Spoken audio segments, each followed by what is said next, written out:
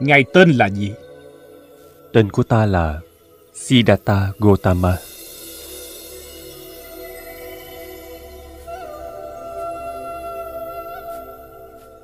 Gương mặt của ngài Tại sao thần sắc lại hồng hào sáng rỡ như vậy? Ngài tu hành đã đạt đến cảnh giới nào rồi? Ta đã tìm ra con đường giải thoát. Thật như vậy à? Vì thầy của ngài là ai? Không ai chỉ dẫn cả. Ta tự mình tu tập tìm kiếm Tự mình dẫn dắt Và tự mình dò tìm tiến tu. Ông có thể nói rằng Ta không có vị thầy nào cả. Ngài không được nói như vậy. Không có thầy dẫn dắt thì không thể có được trí tuệ. Ông đã cướp đi danh dự của thầy của mình rồi. Chân lý tối thượng Tự mình có thể chứng được. Mà sự chứng ngộ Cần phải chính bản thân tu tập. Nếu như bạn đạt được rồi sẽ ý thức được mọi thứ đều rất đơn giản Hiểu được sự tha thứ Đó mới chính là giải thoát Con đường này có thể vượt thoát mọi sự trói buộc của nghiệp lực. Ta sẽ chuyển bánh xe Pháp, làm cho Pháp ấy truyền khắp bốn phương.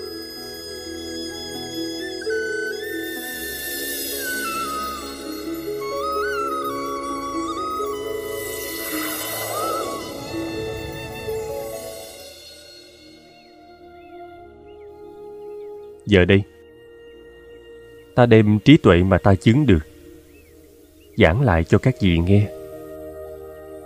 Trong cuộc hành trình này, các vị là những đệ tử đầu tiên của ta. Lòng từ bi của Ngài vô cùng vô tận.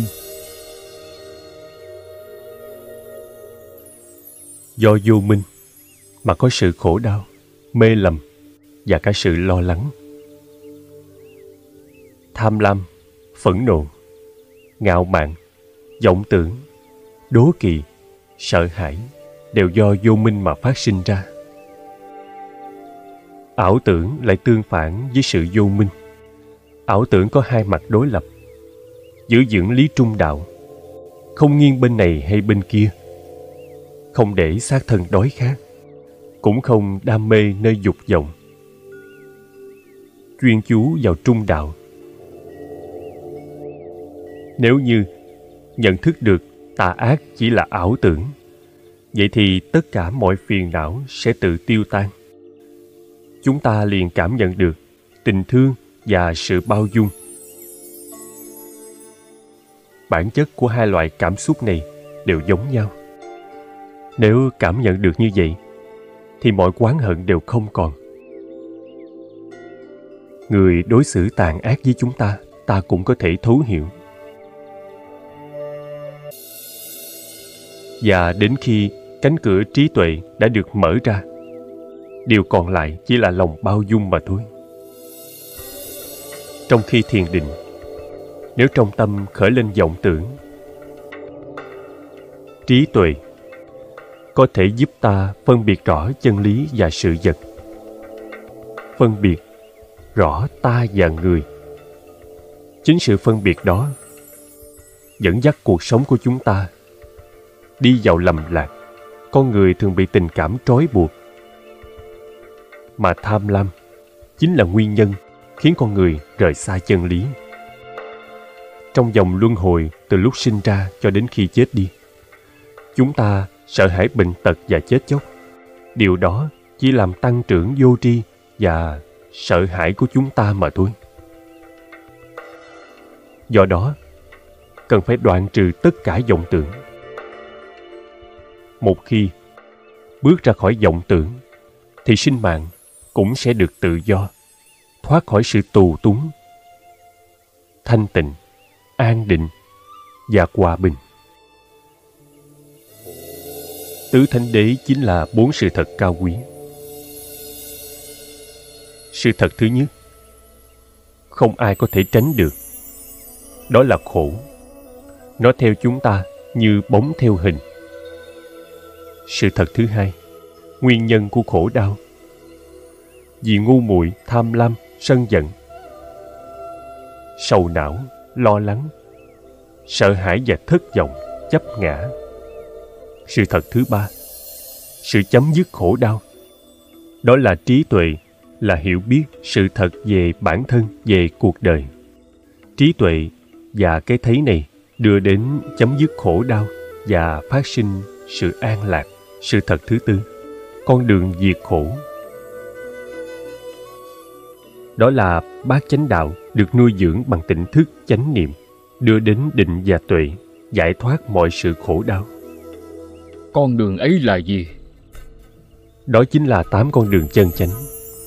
Nhờ có sự thấy biết như thật tư duy như thật suy nghĩ như thật nói năng như thật việc làm chân chánh đời sống chân chánh. Siêng năng chân chánh an trú tâm chân chánh sẽ dẫn dắt hành vi của chúng ta. Và ta chính là pháp. Dhammam sharanam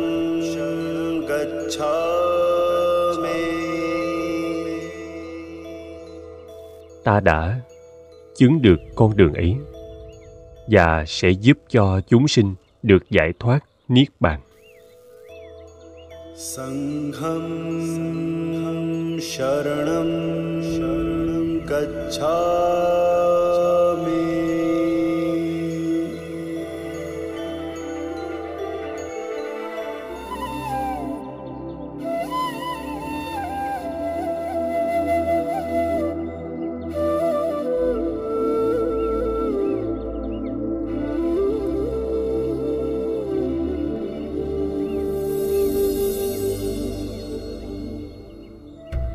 như con nhện từ từ giăng tơ kết thành mạng lưới đẹp mắt thế giới tự nhiên này sáng tạo nên dạng vật trong thế gian vẻ đẹp đó là vô cùng vô tận Từ nay trên mọi lối mòn quanh co khắp thế gian này đều có pháp âm của bậc giác ngộ tuyên dương lưu chuyển. Con người đều sẽ tỉnh ngộ thôi.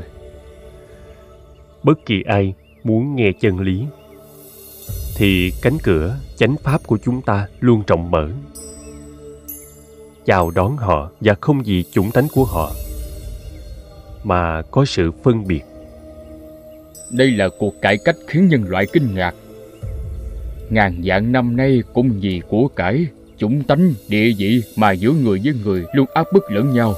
Giờ đây bất cứ ai cũng có quyền học hỏi chân lý vô thượng, giống như chúng ta vậy đều là ảo tưởng. Đều là giả dối. Người đời quá thật xấu xa cùng cực.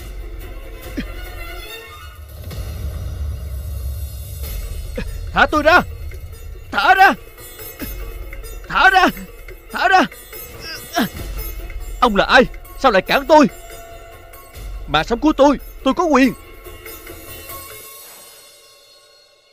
Không được quyền lợi sinh mạng của bạn, thuộc về mẹ cha của bạn. Đó là người sinh ra bạn và người nuôi dưỡng bạn lớn lên. Cha và mẹ của bạn bạn nợ họ rất nhiều. Sinh mạng của bạn không chỉ thuộc về bạn mà còn thuộc về họ nữa. Đứng lên nào.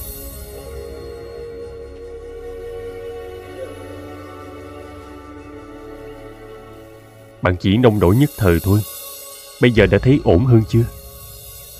Không phải nông nổi. Mọi thứ con đều không thiếu. Niềm vui của cải thành công. Con muốn gì là được đó. Nhưng chúng thay đổi chóng vánh con nhìn vào lòng của mình. Chỉ thấy một màu đen tối tận cùng chỉ có hương vị khổ đau. Chỉ có cô liêu cùng với trống vắng. Con không biết bản thân đang sống vì điều gì nữa. Khi tâm chúng ta có ý mong cầu, chúng ta đều cho rằng nếu đạt được nó, nhất định sẽ rất vui. Nhưng khi ước mơ trở thành hiện thực, thì lúc đó trong lòng chúng ta lại trống vắng. Bạn có biết tại sao không? Sanh khởi dục vọng cũng giống như đang ước mơ một điều gì đó một khi đạt được rồi nghĩa là ước mơ từ bấy lâu nay mình trông đợi không còn. Sự chống dánh của sinh mạng, như nước chảy qua kẻ tay. Vì vậy đời người không có gì là chắc chắn đúng không ạ? À? Đúng vậy. Hãy quên đi những dục vọng hư ảo của thế gian. Quên đi sự sống chết của bạn, bởi nó không đem đến cho bạn bất cứ lợi ích gì. Dù bạn sợ hãi trước sự biến mất của sinh mạng này, trước hết hãy phủ nhận sự tồn tại của nó rồi tìm một cái tôi ẩn giấu bên trong.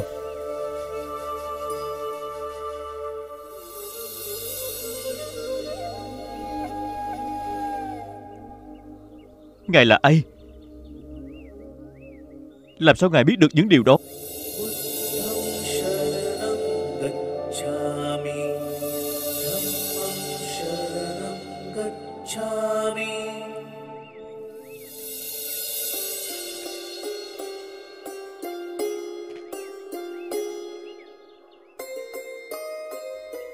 Con chưa từng gặp được ai. Có trí tuệ giống như ngài. Ta vẫn luôn đứng ở nơi đây. Nhưng bạn không hề chú ý đến sự hiện diện của ta. Đôi mắt bạn chẳng khác nào người mù. Trước mặt chỉ toàn là bóng đen thôi. Cái thấy của con người đều do tâm chọn lựa thôi. Ngài nói rất đúng. Ngài là một tâm hồn vĩ đại còn con rất đau khổ. Không nhìn thấy được điều gì khác. Con tên là gia sa. Vốn là con trai của một gia đình giàu có. Cuộc sống của con không thiếu bất cứ thứ gì. Con đam mê hưởng lạc. Thậm chí chơi bời vô độ. Nhưng trong lòng của con, vẫn trống rỗng khổ đau. Càng ngày càng mất hết tinh thần biết bao nhiêu người trong thế gian phải chịu đau khổ vì vật chất. Cuộc sống của họ nghèo khó, ăn mặc thiếu thốn, chịu đủ mọi điều bất công. Có nhiều người khổ đau về mặt tinh thần. Hãy nhìn xem xung quanh mình đi ra xa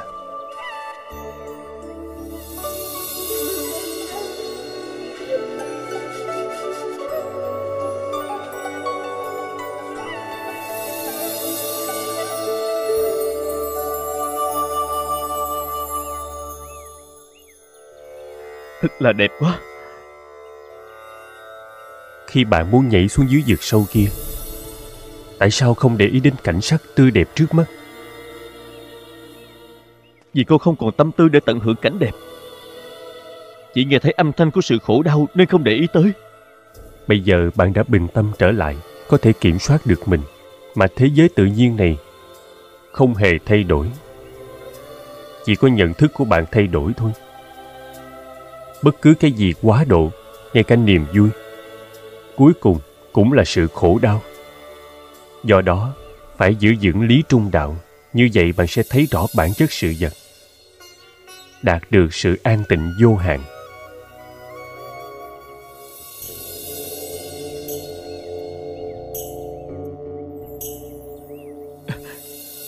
Con có thể làm đệ tử của ngài không? Cuộc sống của chúng ta vô cùng đơn giản lấy đất trời làm giường chiếu. Hàng ngày thì phải đi khất thực để sống. Con đã quyết định. Dù không có của cải, nhưng lại tràn đầy trí tuệ.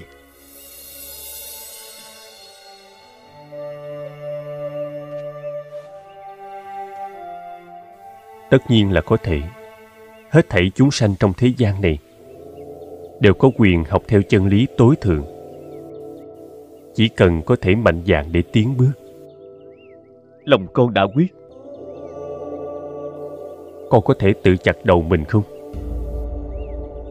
Con lúc nào cũng sẵn sàng thưa ngài. Ta nói chặt đầu ở đây chẳng qua chỉ là một thí dụ. Ý ta nói chặt đầu có nghĩa là chặt đứt lòng ngạo mạn của con giao hết thân tâm của mình cho đạo sư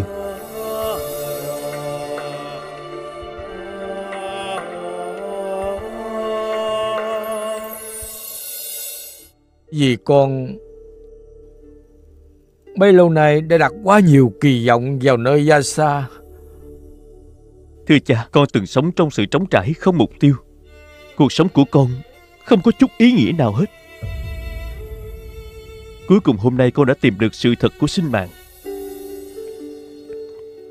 Hôm nay, cậu ấy đã chặt đứt mối ràng buộc của sinh mạng, thoát ra khỏi sự hư ảo và dục vọng, làm lại cuộc đời mới.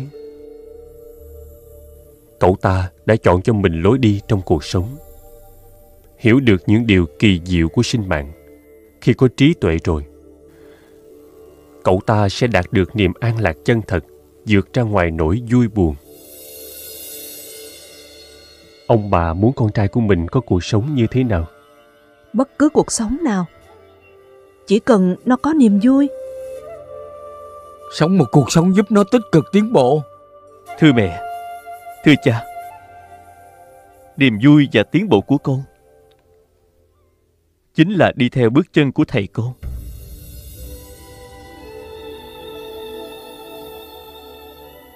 Xin cha mẹ cho phép con xuất gia.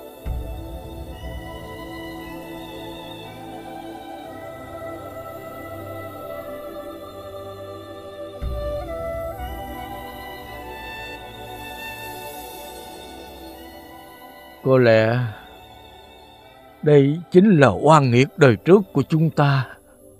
Tại sao không phải là việc phước đức chứ? Ngàn vạn năm nay, chúng ta thường nhìn thấy và chỉ trích tội lỗi của người khác. Cần phải có kinh điển và học giả giúp họ rửa sạch tội lỗi. Như việc chúng ta cúng tế và hiến tế chẳng hạn. Nhưng ta khẳng định rằng nguyên nhân của mọi tội lỗi đều do chính bản thân chúng ta. Cũng chính chúng ta mới có thể mở ra cánh cửa giải thoát. Ừ. Thưa bậc trí giả, chúng con làm sao để được quy y với Ngài đây? chỉ cần gìn giữ các hạnh trong sạch giữ gìn năm giới. Giới thứ nhất không sát hại sinh mạng của chúng sinh. Mọi chúng sinh đều sợ chết như quý vị vậy. Khi bỏ được nghiệp giết hại thì trong lòng quý vị tự nhiên sẽ sinh khởi lòng từ bi. Giới thứ hai, không được trộm cắp và phải cố gắng hết khả năng của mình giúp đỡ những người khốn khó. Giới thứ ba, không tà dâm. Thủy dung đối với vợ hay chồng của mình. Giới thứ tư, không nói dối, không nói hai lời, không nói lời ngon ngọt, hay nói những điều không thích đáng. Giới thứ năm, không uống các thứ làm say lòng người. Pháp môn của ta rất đơn giản, nhưng vô cùng vững chắc.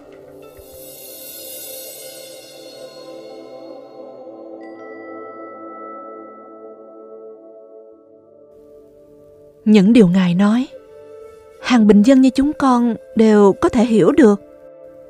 Vậy con và chồng của con có thể làm đệ tử của Ngài chăng? xưa nay ta chưa ép buộc bất kỳ ai phải xa lìa đời sống thế tục này gia sa tự nguyện theo ta xuất gia riêng quý vị hãy cứ tiếp tục cuộc sống như trước đây nhưng vẫn có thể làm đệ tử của ta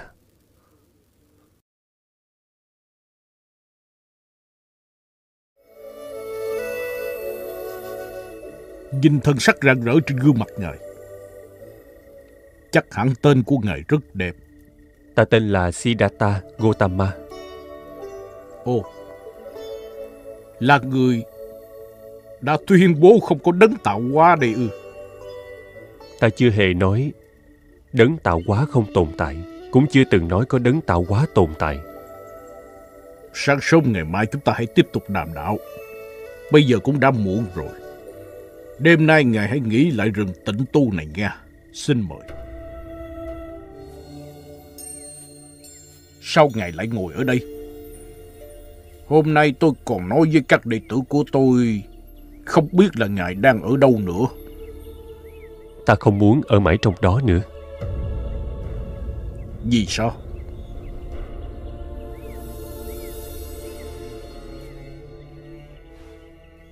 Ngài đang dạy đệ tử của Ngài. Nếu như ta đặt vấn đề trước mặt đệ tử của Ngài, như vậy thì há chẳng phải là làm khó cho Ngài hay sao? Bây giờ chỉ còn hai chúng ta thôi. Ngài cứ thẳng thắn nói ra điều Ngài muốn nói. Ngài từng đề cập đến một vài điều liên quan đến khổ ải. Ngài cho rằng khổ có thật hay không? Ngài cũng tin rằng đằng sau khổ có nguyên nhân chăng? Đúng vậy. Nếu như có nguyên nhân, sinh ra sự đau khổ. Vậy thì khi nguyên nhân ấy chấm dứt thì khổ đau cũng không còn. Giống như mặt trời có thể xua tan bóng đêm. Ta tin những gì Ngài nói đều là thật. Chỉ là kinh nghiệm ấy đến từ cá nhân của Ngài. Những lý luận ấy không có ghi chép trong hệ thống kinh pháp. Ngài nói rằng có một con đường đưa chúng ta đến giải thoát, quan sát trí tuệ của chính mình và đi sâu vào thiền định. Nhờ vào đó mà con người có thể hiểu được chính mình và hiểu rõ tất cả chúng sinh. Nhưng tôi có một thắc mắc. Những nghi thức tôn giáo như là thần thông và cúng tế, chúng có ích lợi gì không?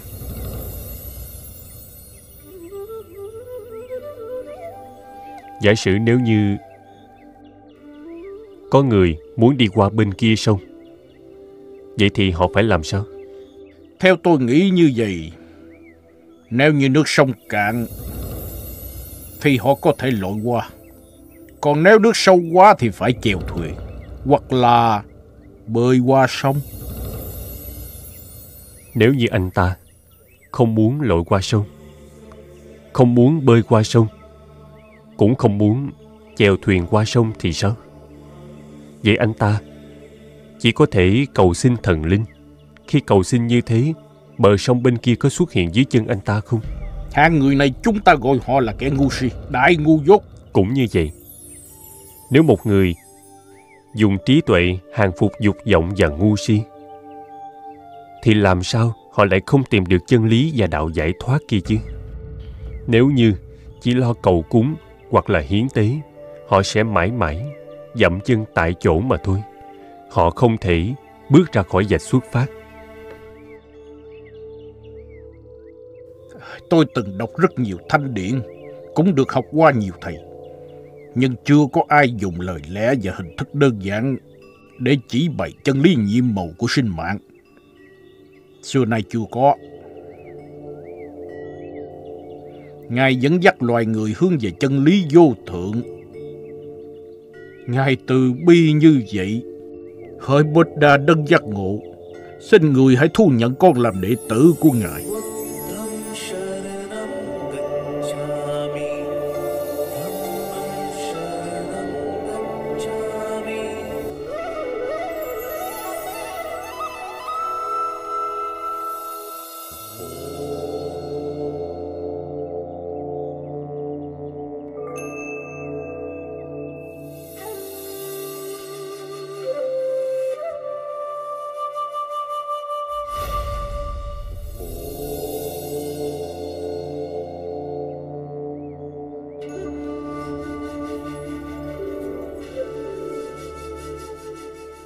Ta từng hứa với Ngài, bây giờ ta thực hiện lời hứa. Ta đã trở về đây. Ta biết mà. Lời Ngài nói ra chưa từng thất hứa. Nhưng Ngài không còn là người bạn của ta năm xưa nữa. Ngài là ai vậy? Những đứa trẻ trong làng Uruvela đã nói rằng ta đã đạt được giác ngộ, nên gọi là Buddha.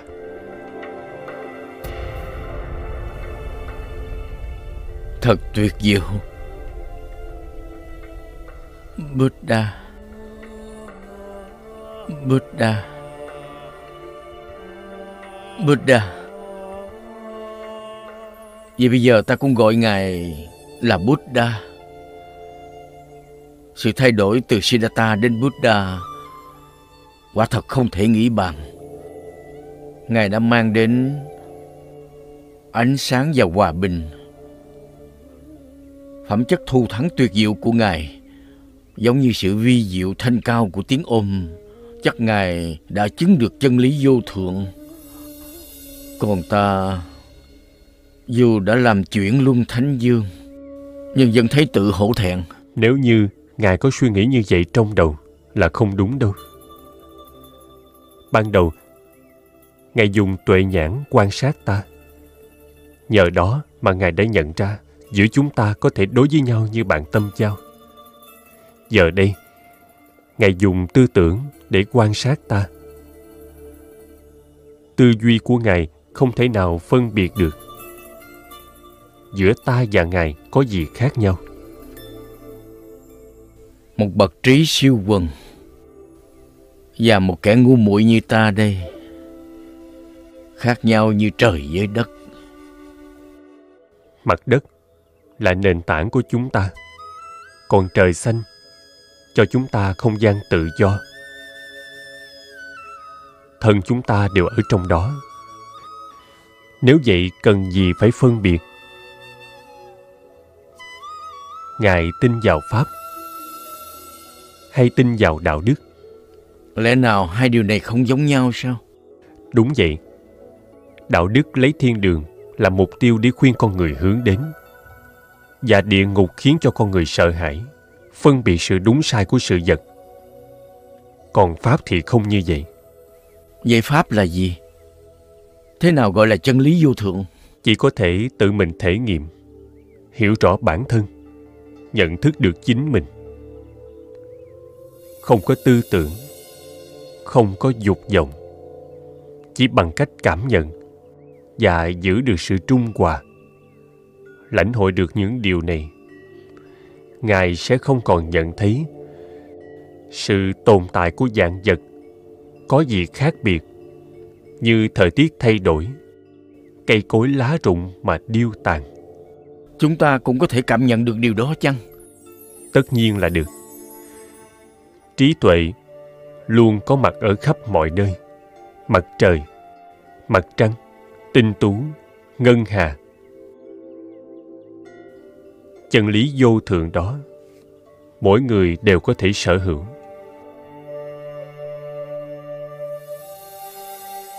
Ngài có thể nhận con làm đệ tử chăng? Đương nhiên. Đạt đến giác ngộ như hôm nay ta đã trải qua khảo nghiệm cực kỳ gian nan như dục vọng phẫn hận ảo tưởng tham lam đói khát. Tất cả mọi thứ đều hiện ra trước mắt nhưng lòng ta vẫn kiên trì, không hề dao động. Ta từng thệ nguyện, dù cho hy sinh, cũng phải chứng ngộ chân lý vô thượng. Cuối cùng, ta cũng đã chứng được chân lý cứu cánh ấy.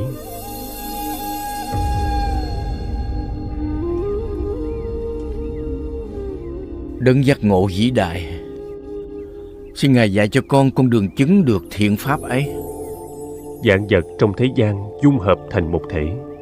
Nó giống như một sợi dây vô hình mà chúng ta không thể nhìn thấy được.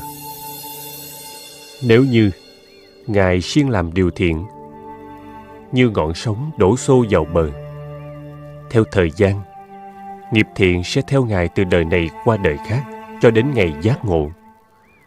Ngược lại, nếu ngài tạo điều ác, sẽ nhiều đời nhiều kiếp lãnh chịu quả báo khổ. Và như vậy thì, tất cả những điều đó kết thành nguyên nhân sa đọa. Nếu như ngài chuyên chú chánh niệm vào từng phút giây trong hiện tại, giữ được sự bình lặng an nhiên, ngài sẽ tìm thấy được trung đạo trong chính nội tâm, không buồn không vui vượt ra ngoài ràng buộc lưu chuyển của nghiệp lực. Cuối cùng sẽ chứng được chân lý vô thượng.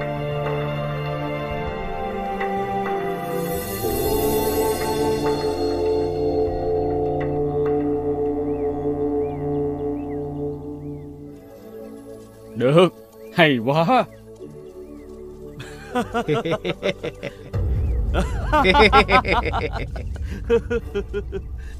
Coi kìa. Ôm thưa tôn giả xin hãy bố thí. Nhìn ai cũng trẻ măng như vậy mà lại đi xin ăn, không hề biết xấu hổ là cái gì hết hay sao? Xấu hổ gì chứ?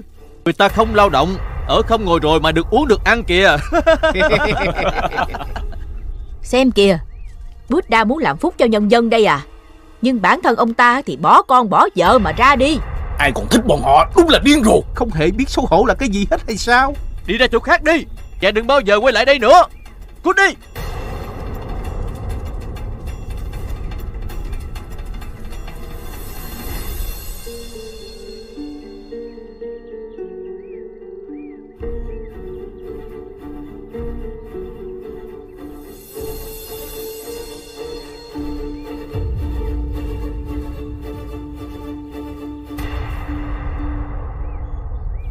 Người ta không cúng dường cho các thầy đúng không? Bạch đạo sư Chúng con còn có thể đi nơi khác khất thực chăng Tất nhiên là được. Nhưng lý do khiến các thầy đi nơi khác, nếu nó cũng đi theo các thầy đến đó thì sao? Không đâu bạch đạo sư Chỉ tại người nơi thôn đó luôn mắng nhiếc sỉ nhục chúng con Đã vậy còn trêu đùa Và làm nhục chúng con Vì vậy mà các thầy sân giận à. Nếu họ đem cờ qua, chào đón các thầy, thì tâm các thầy sung sướng hoan hỷ ư. Vậy có nghĩa là các thầy đem sự bình lặng trong tâm giao hết cho người khác. Ngoại cảnh có thể làm dao động các thầy, cũng có thể làm vui lòng các thầy.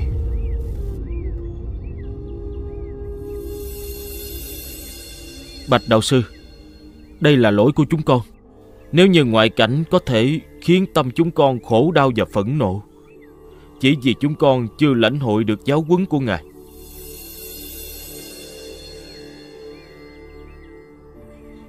Nếu các thầy còn ôm lòng sân hận, thì các thầy cách chứng ngộ chân lý còn quá xa.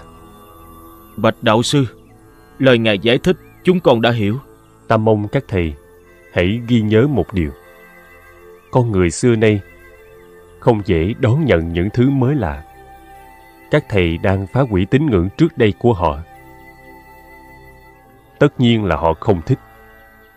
Đầu tiên, họ sẽ chọc phá các thầy. Rồi đến hành hung các thầy. Và sau đó trốn tránh các thầy. Không quan tâm tới các thầy nữa. Nhưng dần dần, họ sẽ đón nhận các thầy. Các thầy phải trải qua sự chuyển hóa, phải giữ sự khiêm cung nhẫn nhục.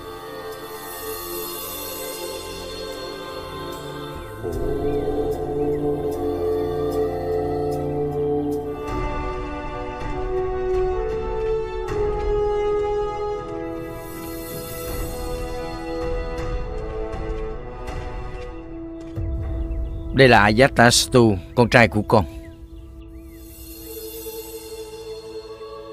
Con hãy mau đến làm lễ với Buddha đi.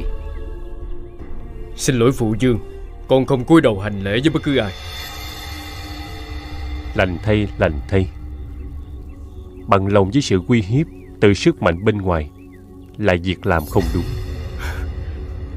Ý của ta chính là Không có sự tôn trọng thì lấy gì để hành lễ chứ Đừng có lo. Ta hiểu mà. Chẳng có gì đáng để cho ta hành lễ cả Thanh kiếm của cậu rất đẹp. Cậu tự rèn kiếm cho mình hay sao? Ta là thái tử Vì sao ta phải tự tay làm Cũng đúng. Thái tử thì không cần phải biết rèn kiếm như thế nào. Nhưng khi thợ rèn trao kiếm lại cho cậu, thì lúc đó làm sao? Cậu có thể phân biệt được chất lượng tốt xấu của thanh kiếm. Ta sẽ thử độ bén của nó Múa dài đường sẽ cảm nhận được Đặc tính của nó thế nào Vậy có nghĩa là cậu sẽ không vội vàng kết luận trừ khi chính mình kiểm nghiệm xong. Không sai Nếu như đối với ánh nắng mặt trời, cậu làm thế nào để kiểm tra được độ nóng của nó? Điều này rất khó nói Đơn giản thôi, vô cùng đơn giản. Dạng vật trong thế gian hấp thụ được độ nóng đó là căn cứ vào nhu cầu của từng cá thể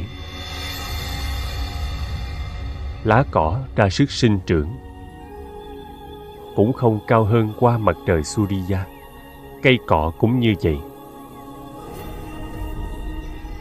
Tại vì cây cọ có thể hấp thu ánh sáng mặt trời, cho nên nó có thể mọc rất cao. Cậu nói rất đúng. Cây cối khỏe mạnh sẽ tỏa cành lá sum xuê. Cây cọ thường cao vút tận mây xanh. Ý nói rằng, quy luật của tự nhiên chính là sự trưởng thành.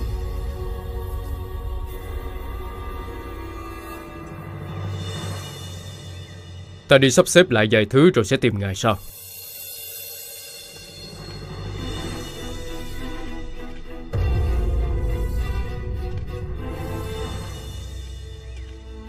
Nó vẫn chưa hiểu chuyện. Con xin thay mặt Con của con xin lỗi ngài. Cá tính bất khuất của cậu ấy Rất có ấn tượng với ta. Nè Đến đây làm gì hả? Đây không phải là nơi mà đến đâu Về đi. Xin cho tôi được vào. Tôi muốn gặp Buddha Tại sao không ai giúp tôi hết vậy? Cho tôi vào đi mà. Cho tôi vào đi. Cho tôi vào đi. Nè Đứng lại. Thả đứng tôi lại ra. Đứng lại. Thả tôi ra. Hãy cho cô ta vào đây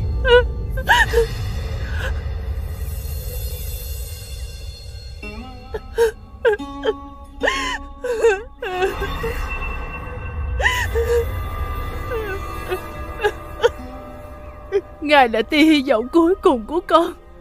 Thưa Buddha, Xin Ngài cứu sống con trai con. Xin trả con trai lại cho con đi, Buddha. Cho con thoát được nỗi đau này. Cầu xin Ngài Xin trả con lại cho con đi. Trả con lại cho con đi Buddha Xin cứu sống đứa con của con. Ta có thể làm cho đứa trẻ sống lại. Nhưng chị phải đi làm một vài việc. Chị đi đến bất cứ nhà nào trong thành Và hãy xin họ một hạt cải. Dạ dạ được. Con sẽ đi ngay Con sẽ đi ngay. Nhưng hãy nhớ rằng Nhà mà chị xin hạt cải Nhất định phải là nhà. Chưa từng có người thân nào qua đời cả. Dạ được thu Buddha Dạ được. Con của mẹ ơi.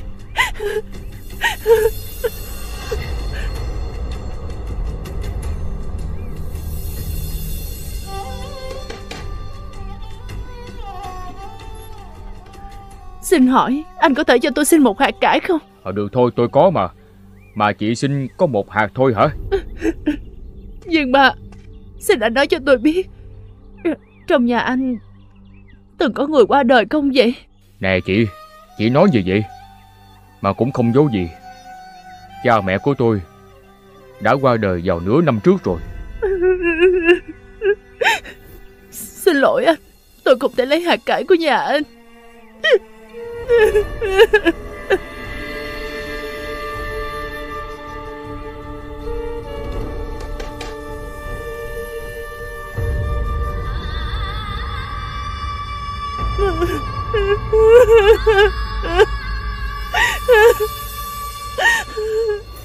Vợ tôi cũng vừa mới mất. Con trai của tôi nó cũng đã qua đời rồi. Con trai và con dâu của tôi đều qua đời rồi. Vợ của tôi và con trai tôi Đều bị nước lụt cuốn rồi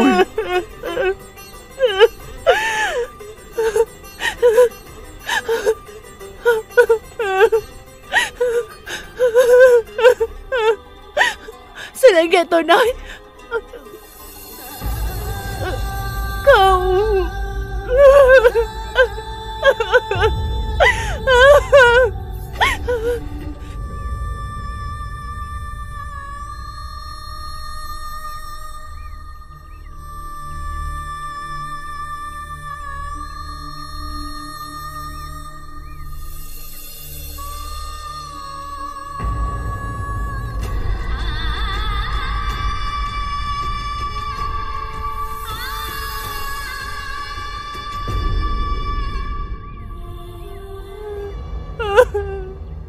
Dạng vật trong thế gian.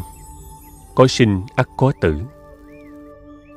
Đó là quy luật tự nhiên. Bất luận là già hay trẻ, là bậc trí hay người ngu, ai rồi cũng phải chết thôi. Nếu như trước đó ta nói với chị những sự thật này, chị có tin lời ta hay không?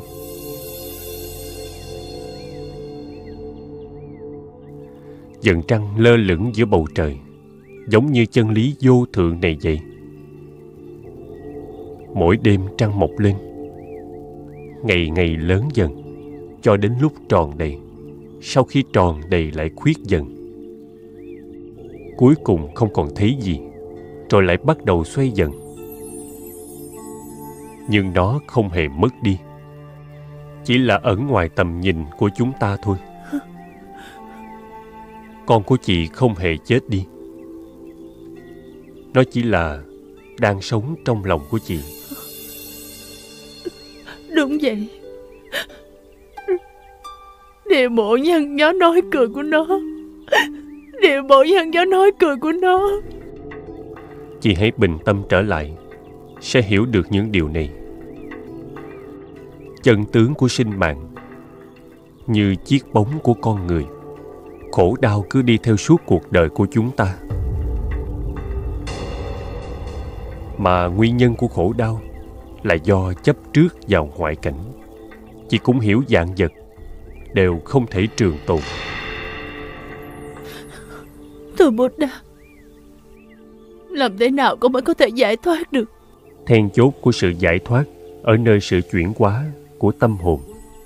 Cho dù buồn đau ập xuống hay niềm vui ùa vào, đều phải giữ được sự điềm nhiên giữa hai thứ ấy. Cứ thực hành như vậy, thì xiềng xích của khổ đau tự nhiên được mở, hiểu rõ được chân lý tối thượng thôi. Và theo sự mở mang của trí tuệ, chị sẽ thấu hiểu được sống và chết, tụ hội và chia ly chẳng phải là hai mà là một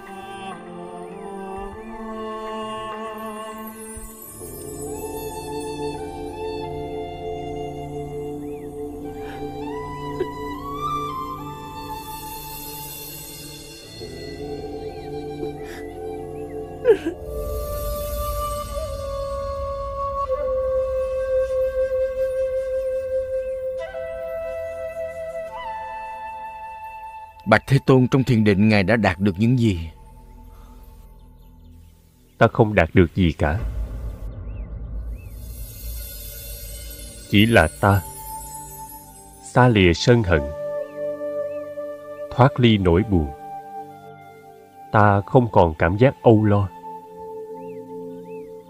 Ta cũng không sợ hãi, không sợ già yếu và chiến thắng được cái chết này các thầy tỳ kheo, những gì ta quan tâm, đó là tất cả mọi điều chánh hạnh. Một đốm lửa cháy trong rừng.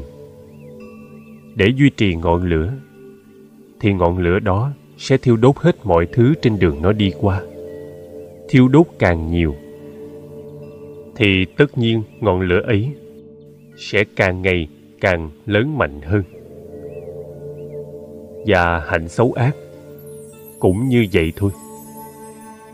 Phẫn nộ, u sầu, tham, sợ, chúng lợi dụng nhiên liệu trong chúng ta. Dựa vào nhiên liệu đó để bùng cháy không dứt. Ngọn lửa, thù hận và tham lam, cháy mãi không tắt. Cho đến khi chúng ta giải thoát ra khỏi sự luân hồi giả sử có người, chỉ để mắt đến sự hưởng thụ vật chất trong cuộc sống. Họ ra sức kiếm được thật nhiều tiền tài, nhưng mà trong lòng người ấy cứ bị ràng buộc trong mâu thuẫn.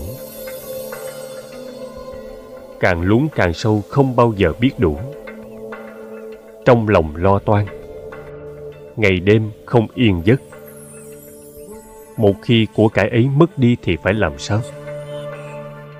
Nếu như có người, chặt đứt được những ràng buộc đó, người ấy không cần phải lo lắng cho tương lai của mình, cũng không cần mang trên vai gánh nặng của quá khứ. Bình thản tự do, chánh niệm trong hiện tại, giữ vững lý trung đạo. Cuối cùng, lãnh hội được niềm an lạc đích thực của thế gian này.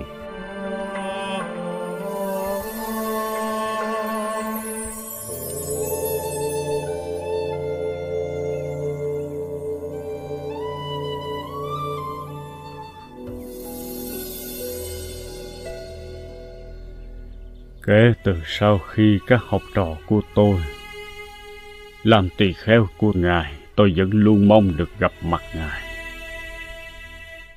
Tôi có vài câu hỏi, Ngài có thể trả lời giúp tôi được không? Đương nhiên. Pháp Ngài đang truyền dạy là gì? Pháp ấy nương theo nguyên tắc nào? Theo cá nhân tôi mà nói, tôi không tin và cũng không nương theo bất cứ nguyên tắc nào. Ngài xác định Ngài thật sự không tin cái mà chúng ta gọi là nguyên tắc sao?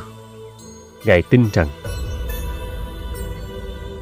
Ngài có thể sống như vậy mà không cần tới tín ngưỡng gì sao? Ngài đang chơi trò bắt chữ à? Không đâu. Đây là trò chơi trí tuệ của Ngài. Tôi có tin ngưỡng hay không tin ngưỡng không phải là vấn đề. Bây giờ tôi đang hỏi đến nguyên tắc của Ngài. Nếu như một người nào đó trước sau luôn tuân thủ nguyên tắc nào đó, thì cuối cùng, người ấy cũng sẽ đánh mất sự tự do của tâm linh trở nên cứng nhắc, thiếu linh động còn nếu như mù quáng tuân theo những thành kiến ấy, cho rằng tín ngưỡng của mình mới là chân lý, rồi phủ nhận toàn bộ cái khác. Lúc này, sự tự do của tư duy hoàn toàn không hề tồn tại nữa. Chỉ còn lại một loại kiến giải chiếm lĩnh. Tâm niệm của con người bị khống chế và xung đột. Rồi phản đối cũng theo đó mà tự nhiên xuất hiện. Sự tin tưởng mù quáng, thậm chí không có tín ngưỡng, lại càng bị khống chế hơn nữa. Tư duy là năng lượng vô cùng lớn, nó có thể hoàn toàn khống chế lấy bạn. Nhưng với ý niệm chấp chặt như vậy, đó chính là chướng ngại lớn nhất trên con đường tu hành. Nếu như bị nó trói chặt thì cánh cửa chân lý không bao giờ có thể mở ra được. Nếu mọi người làm theo lời ngài vậy có còn bị trói buộc nữa hay không? Những gì ta giảng dạy đều bắt nguồn từ chứng nghiệm của bản thân. Con đường của ta dạy không phải là nguyên tắc cũng không phải thánh điển triết lý. Chỉ là sự cảm nhận thuần túy. Và đó cũng là chân lý vô thường. Nhưng thưa ngài nếu như có người xem con đường của ngài là nguyên tắc thì sao? Con đường của ta là dành cho sự thực hành. Không phải để dựa dẫm sùng bái hoặc là bản thân không thực hành một cách thực tiễn. Tất cả những tri thức của ta giống như một chiếc bè vậy chiếc bè đó. Có thể dùng để qua sông, nhưng sau khi chúng ta đã dùng chiếc bè qua được sông rồi, thì liệu chúng ta có cần đội nó trên đầu để mang theo chiếc bè đó hay không? Xin cho con được chạm chân kính lễ ngài. Nhưng vẫn còn một cảm giác khiến con chưa thể cúi đầu. Tình cảm được chia làm ba loại. Vui mừng, buồn đau và tĩnh lặng. Ba thứ tình cảm này luôn có mặt trong cơ thể và tư tưởng của chúng ta. Tình cảm như ngọn sóng trào dâng, rồi sau đó trở về với sự tĩnh lặng ta cho rằng, trước hết, hãy quán xét mức độ của tình cảm, am tường và thấu hiểu, tìm ra được chúng từ đâu đến. Cho dù là vui hay buồn, đều phải tìm ra nguồn gốc của chúng. Khi đã tìm ra nguồn gốc của chúng rồi, sẽ phát hiện ra rằng hết thảy mọi thứ đều là không. Cái không mà chúng ta nói, giống như bầu trời xanh bao la. Tuy rỗng rang, không thấy gì, nhưng lại bao trùm hết thảy mọi dạng vật, giống như một tấm màn lớn. Cứ tiếp tục nương theo đó, để mà tu tập, từ từ ông sẽ nhận ra những ngọn sóng trước đây sẽ dần dần chìm lắng. Một sự tịch tịnh vô thượng hiện hữu trong sâu thẳm nội tâm sẽ không còn bị dao động nữa. Quán chiếu sâu vào bên trong, liền nhận ra đâu là sai lầm. Cái kiên cố, khó lay chuyển nhất cũng chính là cái mềm yếu dễ dở mà vô minh chính là cội nguồn của tất cả phiền não. Sự thấy biết của ta là nhờ vào thiền định. Thiền định có thể dẹp tan vô tri. Ngoài thiền định, sự cầu cúng, khổ hạnh nhịn ăn hay là hiến tế hoặc những hình thức khác đều không thể đạt được. Ông đã ngủ mê bao lâu rồi, sanjaya? Hãy tỉnh lại, đứng thẳng lên và hãy nhận ra chính mình.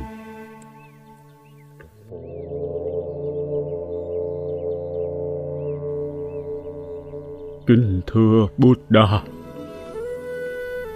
ngài chính là tấm gương của con.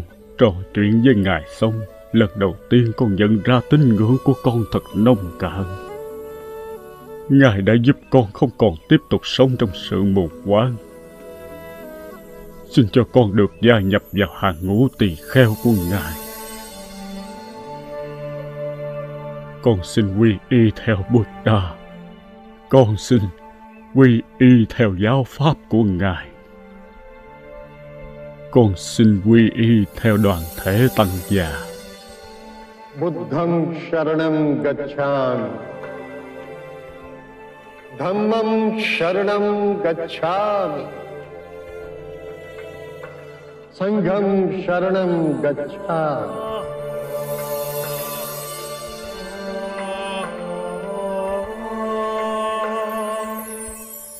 Ta nghĩ một khi con về đến Kapilavatthu chắc phải vào cung trước. Đến gặp cha trong niềm xúc động. Mẹ của con đã chuẩn bị rất nhiều món ngon cho con ở trong cung.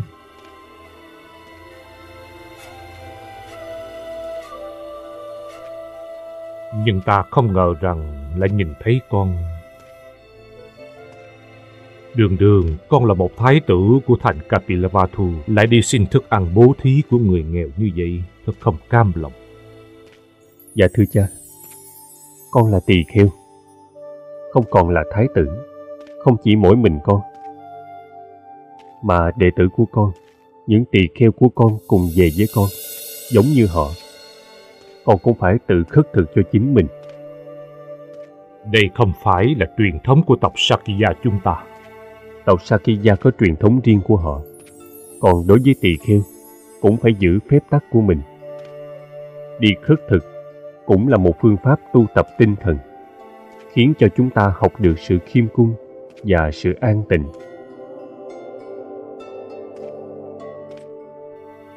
Trong mắt của hàng tỳ kheo, không có phân biệt giàu nghèo sang hèn.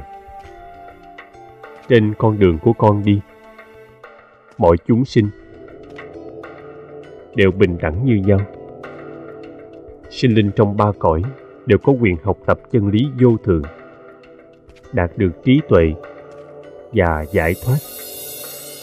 Đi khất thực không phải là tự hạ thấp mình, ngược lại giúp cho người bố thí tăng trưởng lòng từ bi và sự tu tập của họ. Đối với họ mà nói, thì đây cũng là một cách tu hành. Phải tin rằng không chỉ riêng mình con làm được, mà tất cả mọi người đều có năng lực này. Nhưng mà mọi người lại cho rằng con đang đi xin ăn con trai à? Xin ăn và đi khất thực là khác nhau.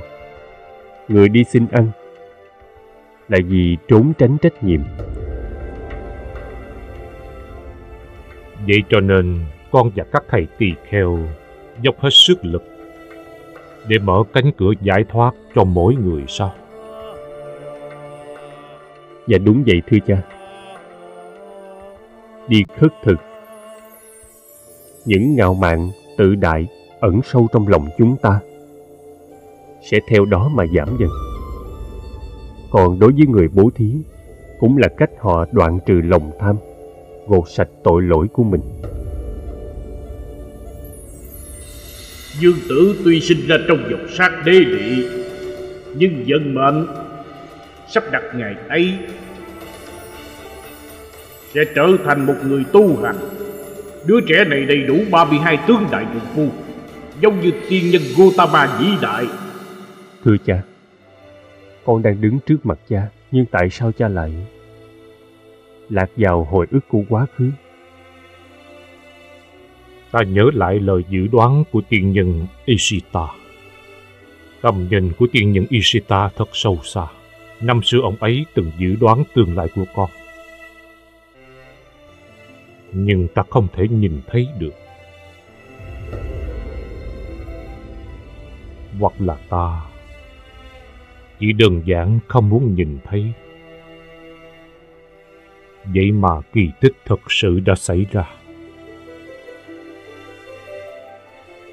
Từ Siddhartha, con đã trở thành một bậc giác ngộ.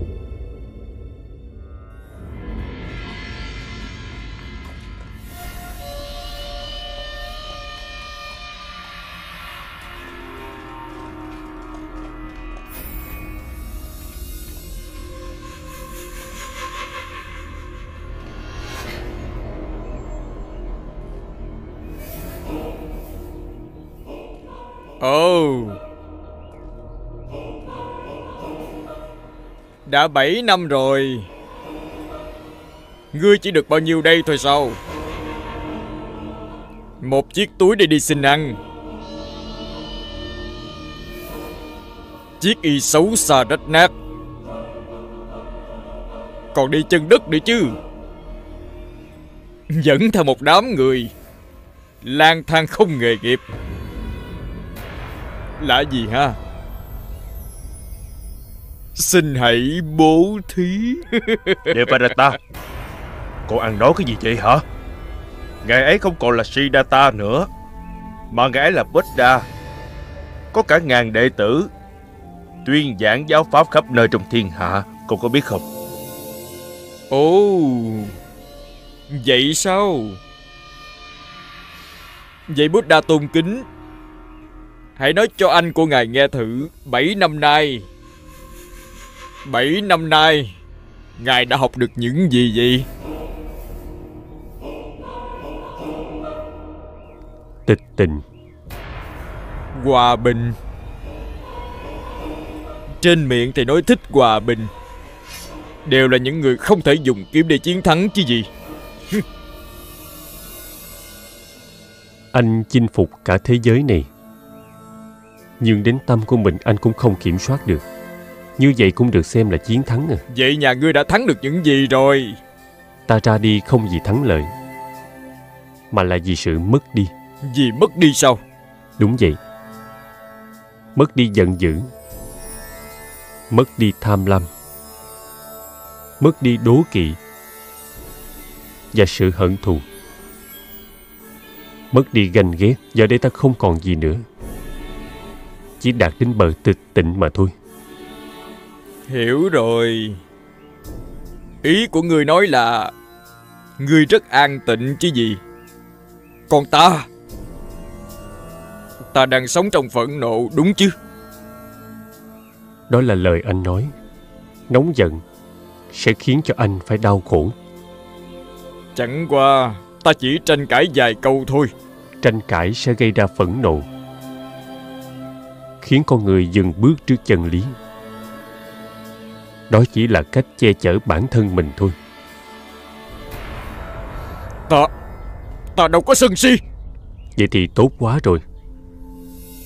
Vì sự nóng giận chẳng khác nào một đốm lửa trong lòng bàn tay.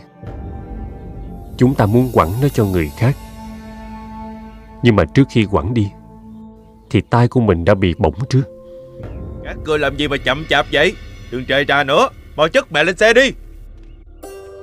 Bố thí hả? Tại sao ông lại cầu xin bố thí chứ? Ông có tay có chân mà. Sao không lo đi làm, tự mình kiếm sống? Ta cũng giống như ông đều là nông phu, ta cũng phải lao động cày bừa và gặt hái những thành quả do ta tạo ra. Vậy sao? Vậy ông nói thử xem, ông lao động như thế nào? Cuộc đời của ta chính là thửa ruộng do ta cày cấy. Ta tứ tẩm thửa ruộng ấy bằng sự sám hối và thiền định. Còn chân lý vô thượng đó chính là công cụ cày bừa của ta mùa màng mà ta gặt hái được đều đem phân phát cho tất cả chúng sanh. Vậy chúng tôi có được thành quả của Ngài thì sẽ thế nào? Người nhận được thành quả ấy sẽ giải thoát ra khỏi mọi khổ đau.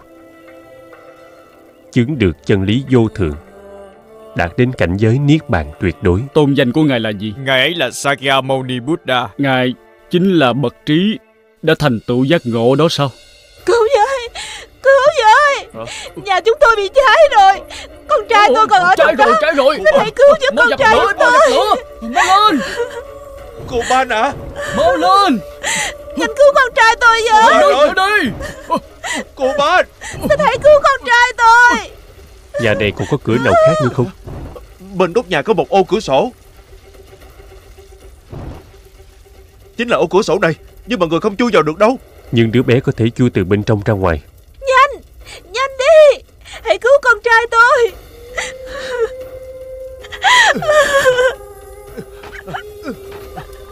Cô Ban Cô Ban ơi Hãy ra ngoài nhanh đi con. Đến đây nào con trai Trong nhà đang cháy. Cô Ban Cô Ban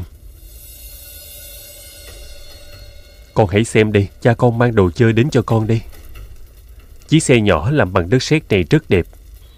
Ta sẽ đưa nó cho con nhé. Lại đây nào. Đúng rồi. Lại đây nào.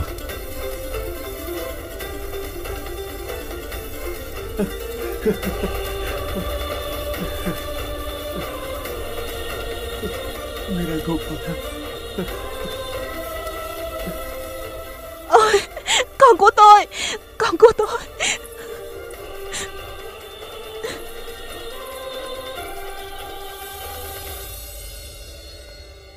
Lúc nãy anh đã sỉ nhục Buddha. Vậy mà ngày ấy lại giúp anh cứu đứa con cưng của anh ra ngoài đó. Xin Ngài hãy tha lỗi cho con Xin tha lỗi cho con Ta xin phép cáo từ Thưa Thánh Nhân, Ngài là người cho đứa bé này sự sống. Ân đức của Ngài suốt đời này Con khó mà báo đáp được Ngài xuất hiện giống như một vị thần linh vậy Nếu không có ý tốt của Ngài Đó chính là mục tiêu của cuộc đời ta Xin Ngài hãy giải thích cho chúng con hiểu. Này ông Sudata Sự trói buộc của dục vọng, ganh ghét, nóng giận, ngu si và tham lam ta sẽ giúp mọi người thoát ra khỏi những thứ ấy. Những ngọn lửa này đang thiêu hủy sinh mạng của quý vị, khiến cho vô số người phải tan thân mất mạng trong đó. Ta gọi cô Ban ra ngoài.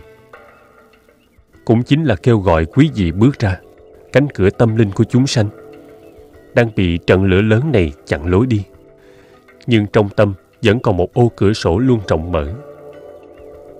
Giống như cô ban vậy, chịu lắng nghe lời ta nói những ai đến gần ta sẽ an toàn theo ta ra khỏi biển lửa này. Con đường giải thoát đang ở ngay trước mặt các ông. Như vậy họ cũng có thể có một cuộc đời mới. Như cô Ban, con trai của con. Thù hận không thắng được hận thù. Chỉ có tình yêu mới có thể hóa giải được hận thù. Đó cũng là quy luật tự nhiên. Bạch Thế Tôn xin Ngài chỉ cho con lối thoát. Đừng chấp chặt vào việc đã qua. Và cũng đừng nên mơ tưởng đến những chuyện tương lai. Chỉ an trú vào phút giây hiện tại. Con sẽ giải thoát được nỗi khổ đau. Tưởng như không thể nào chịu đựng này.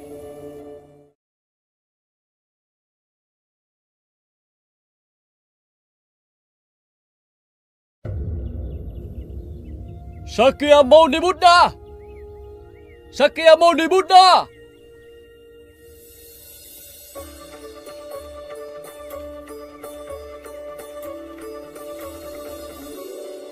Con có tin vui muốn báo với Thế Tôn. Sudatta là người lương thiện chân thành. Nguyện vọng của ông ấy nhất định sẽ được thành tựu. Tính Sudatta hay ngại ngùng. Không biết nói tốt về bản thân con xin trình bày với Thế Tôn những việc vừa qua. Yubasenedi Nước Kusala đã cho Thái tử Zeta, Con trai ông ta khu rừng đó. Thật sự là ông ấy không muốn bán nó đi, Vì Yubasenedi còn hận ngày chuyện ngày xưa. Surata vì muốn có kỳ duyên Mà đưa ra một cuộc giao dịch ừ, Khiến ông ta không được vui.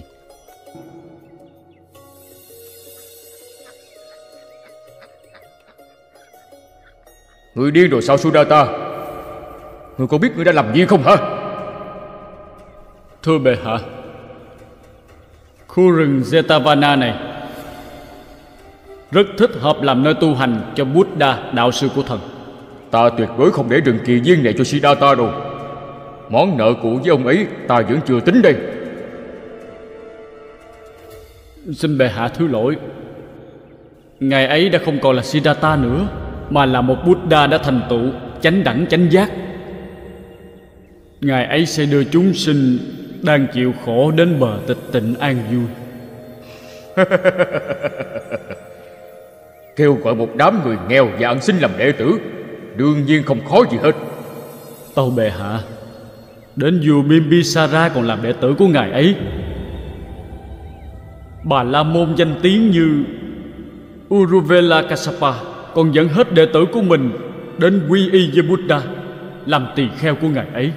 Buddha là người có trí tuệ vô thượng Nếu ngài ấy có thể đến thành Savatthi này Thì người dân chúng ta sẽ được hưởng lợi lạc vô cùng.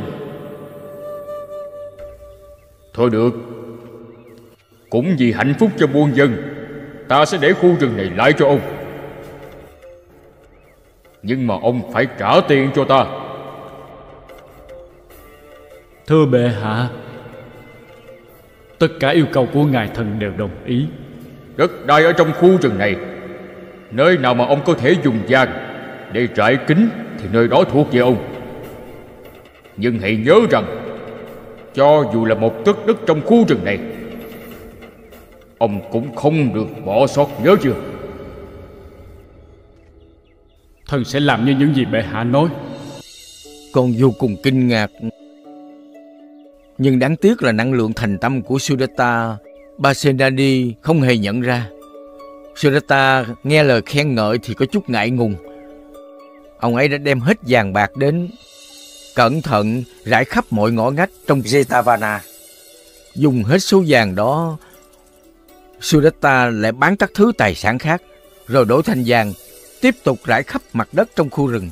Ông ta cứ làm như vậy cứ tiếp tục rải vàng khắp trên mặt đất trong khu rừng.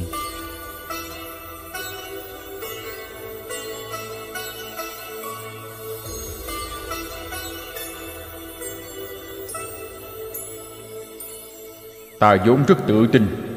Ông không thể nào đáp ứng được điều kiện của ta. Thưa bệ hạ quả thật thần không đủ năng lực. Tất cả đều là nhờ ân điển của Buddha Mới có thể khiến thần thực hiện được lời hứa với ngài không lẽ ông kính phục Siddhartha tới như vậy sao? Tới nỗi đem hết gia sản của mình Để hiến cúng cho ông ta. Không phải vị Siddhartha đó đâu. Giữa lúc loài người đang ngủ say, thì ngài ấy chính là người đang tỉnh thức. Ngài ấy đã trở thành bậc giác ngộ. Những nơi nào bước chân buddha đi qua, thì nơi đó đều trở thành đất thánh, đều là thánh địa. Cho dù ngài muốn lấy mạng của thần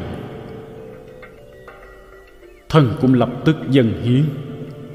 So với những điều này, thì tài sản có đáng gì đâu?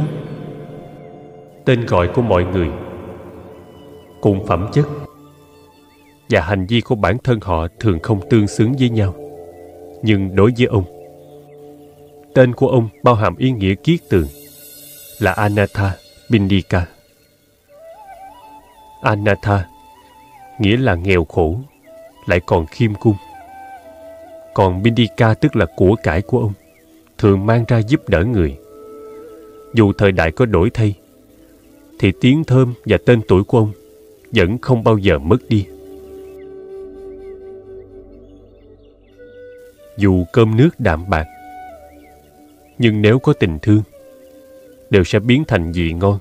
Ông có thể dâng hiến cả tâm hồn và tài sản tất cả đều xuất phát từ thiện ý. Bạch thế tôn ngài sẽ đến jetavana chứ? Đương nhiên rồi. Nhất định ta sẽ đến thăm jetavana. Bây giờ mời ông trở về rừng tịnh tu nghỉ ngơi. Ta phải đi khất thực rồi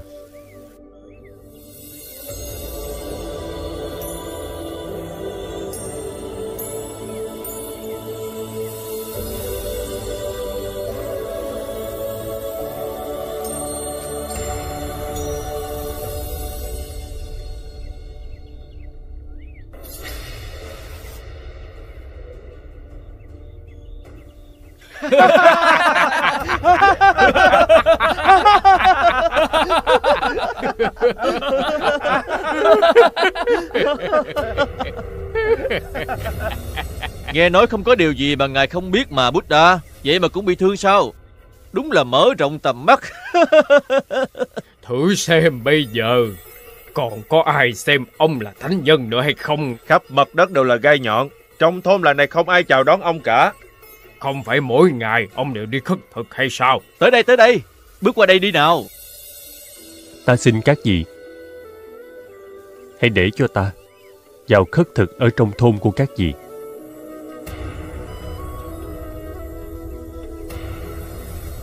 Được thôi. Nếu ông không sợ gai đâm, Thì cứ đi vào khất thực, có gì mà ngại.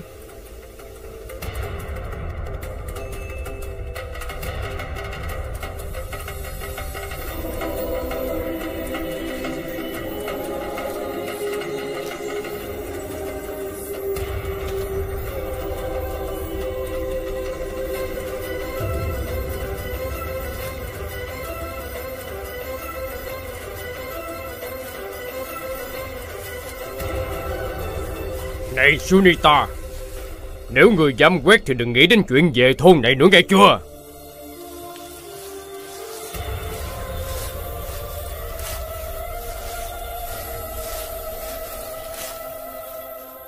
Ngài có thể vào thôn được rồi.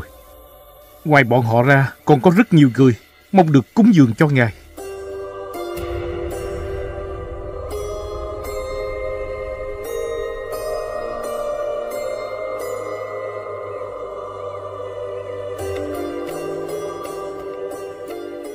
Ngài đừng đụng vào con. Đến cái bóng của con cũng khiến Ngài ô uế.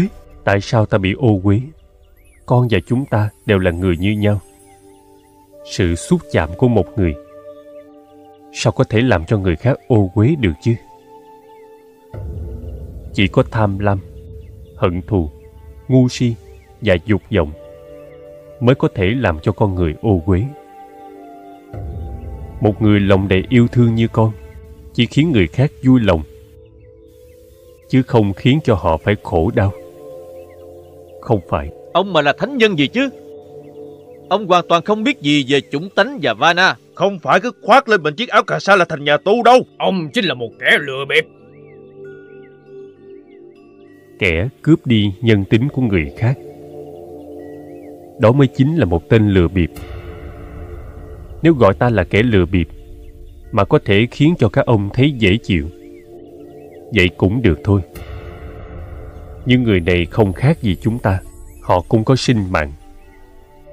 Nếu xem anh ta là hạng người thấp kém miệt thị anh ta thì đó cũng là lừa bịp. Để ta nói cho ông biết, đây chính là chính pháp của chúng ta. Sao gọi là lừa bịp? mặt đất này đã nuôi dưỡng toàn nhân loại trong thế gian cũng nuôi dưỡng anh ta. Nếu như hai người kỳ thị họ, chính là đang phỉ bán đấng tạo hóa.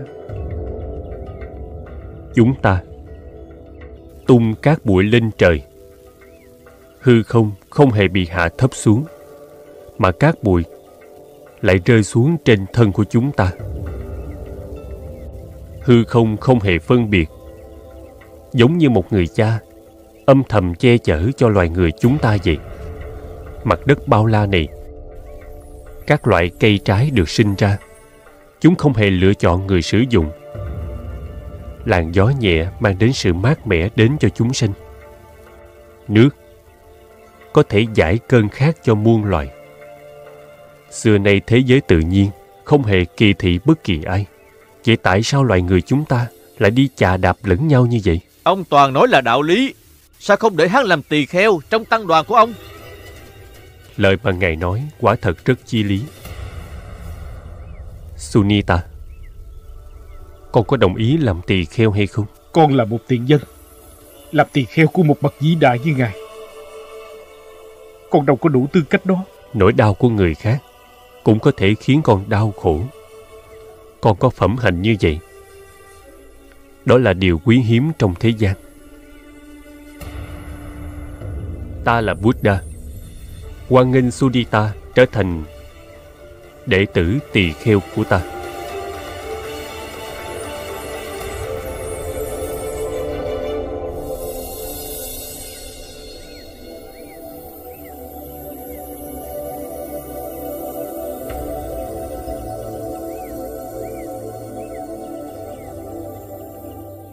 Đời này của con chưa có ai nói chuyện với con một cách từ hòa như vậy.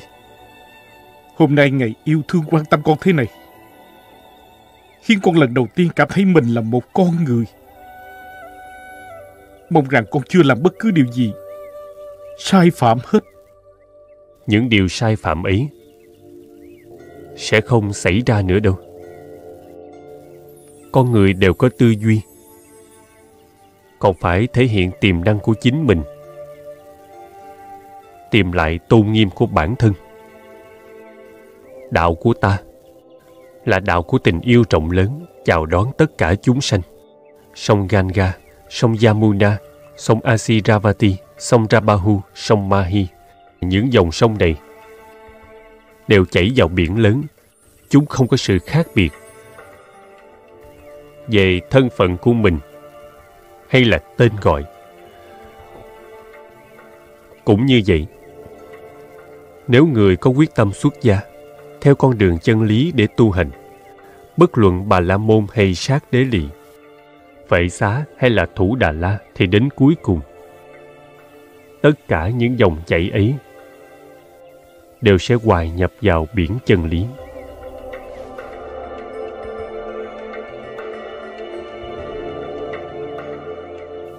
Nước mắt của mỗi chúng sanh đều có dị mận và máu đều có màu đỏ như nhau. Người tạo ra những định kiến sai lầm để áp bức người khác cũng chính là nhân loại chúng ta. Hôm nay, ta sẽ xóa bỏ hết những định kiến sai lầm ấy. Sunita là điển hình đầu tiên, là khởi đầu của lịch sử. Cuộc đời này của ta đến đi dội vàng cũng lãnh hội được rất nhiều điều. Cố hết sức mình mong lấp đầy mọi khát vọng. Có trong tay rồi nhưng không hề biết đủ. Nhưng cuộc sống cơm canh đạm bạc lại có thể khiến người ta hài lòng. Siddhartha Sau khi con từ biệt Kapilavatu Cuộc sống của bệ hạ vô cùng đơn giản. Cha của con đã đem đạo lý của con ra lãnh đạo muôn dân. Thưa cha Cha hãy nhìn con, Nhìn Rahula, Nhìn Nanda, Nhìn cây cối xanh tươi bên ngoài cửa sổ, Nhìn những chiếc lá màu xanh kia. Cha hãy nhìn chúng. Và thử nghĩ xem, Bước chân của sự sống có bao giờ dừng lại? Nó vĩnh viễn không dừng lại. Cũng như vậy, Cha đang sống trong tim của con. Sống trong tim của Rahula. Sống trong tim của Nanda. Sức sống của sinh mạng cha Mãi mãi dung hòa vào trong hàng thân tộc cốt nhục của cha. Cha xem. Rahula chính là một bộ phận trên thân thể của cha.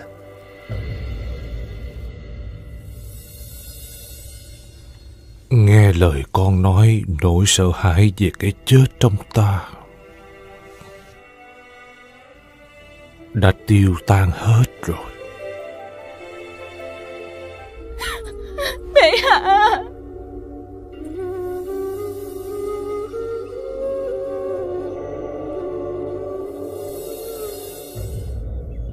Sống và chết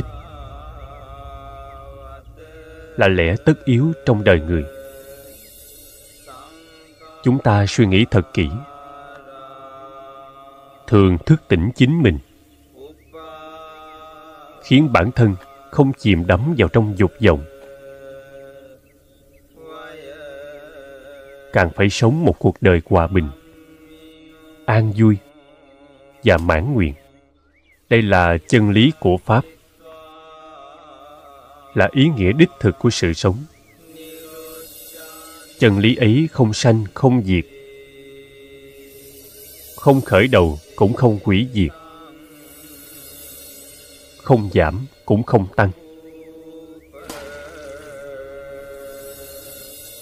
Chỉ còn thứ duy nhất tồn tại. Đó là an nhiên tịch tình. An nhiên tịch tình. Tịch tình. Tịch tình. Các thầy cần phải ghi nhớ, tâm nghi ngờ chính là căn bệnh hiểm nghèo. Nó chia rẽ tình người, chẳng khác nào liều thuốc độc mà giết chết tình bạn.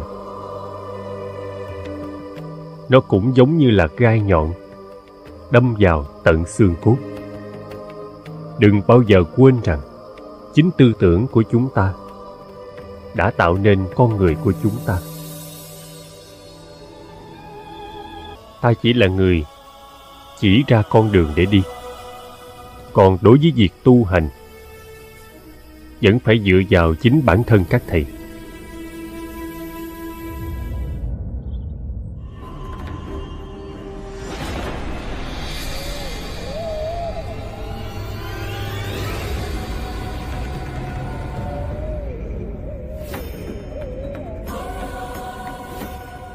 Tên khổ hạnh kia. Dừng lại. Tên khổ hạnh kia. Dừng lại. Tên khổ hạnh. Không nghe ta kêu ngươi dừng lại hay sao hả? Ta đã dừng lại rồi. Là ngươi vẫn chưa dừng lại thôi. Ngươi không sợ ta hay sao Ta là ma đầu Angulimala. Không Anh chính là con người. Tên khổ hạnh. Ngươi nói là ngươi đã dừng lại. Nhưng rõ ràng ngươi vẫn đang đi mà. Vậy tại sao ngươi nói ta chưa dừng lại hả? Ta đã dừng lại tất cả mọi hành vi ác Làm tổn hại tới chúng sanh Và đang học cách che chở sinh mạng của chúng sanh. Nếu ngươi dùng tâm từ bi để quan sát Sẽ thấy được hết thảy chúng sanh Đều muốn sinh tồn. Không! Ta nhất định phải giết sạch bọn chúng. Con người không có tình thương Càng không có từ bi. Chỉ có tàn bạo và dối trá mà thôi.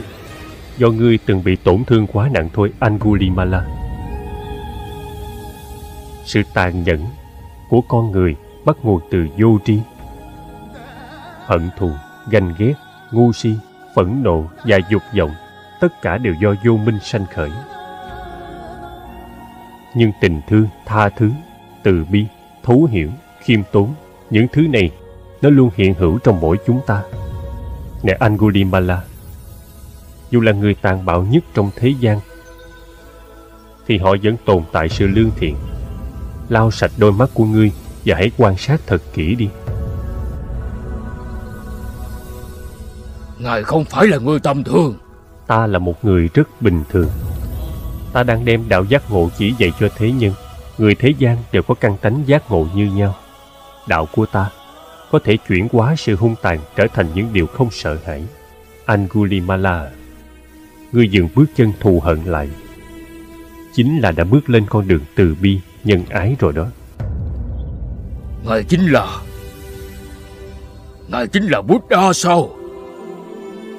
Là Buddha đang truyền đạo giải thoát khắp nơi. Con đã đúng quá sâu vào tội lỗi. Con đã giết quá nhiều người. Con không thể dừng lại được nữa. Không có chuyện gì là không thể. Làm việc thiện không bao giờ là quá trễ. Con không thể quay đầu được nữa rồi. Đã quá muộn rồi.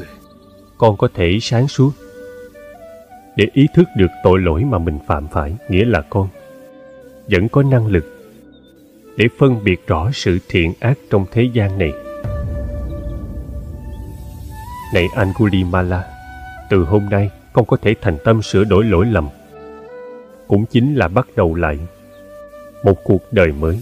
Cho dù con có làm như thế gì, Thì trong mắt người khác con vẫn là một tên ác ma.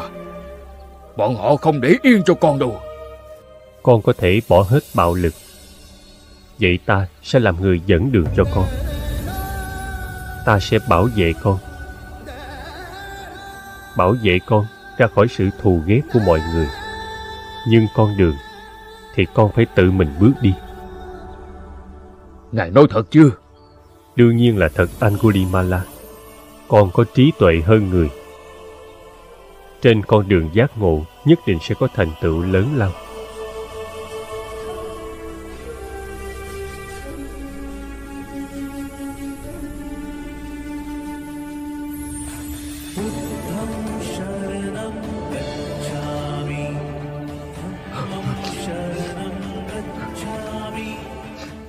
Con xin hứa với Ngài, Con không bao giờ làm việc ác nữa. Từ nay về sau, Con nhất tâm phụng hành đạo từ bi của Ngài. Cầu xin Ngài, Cầu xin Ngài hãy thu nhận con làm đệ tử đi.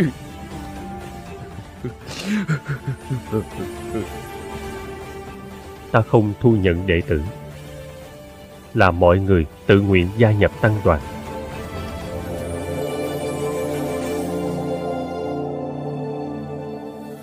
Loài rắn khi đã lột bỏ lớp da cũ của nó, thay vào đó một cơ thể mới hoàn toàn, con người cũng có thể dựa vào sự nỗ lực của bản thân để thay đổi thân tâm, thay hình đổi dạng để có cuộc đời mới.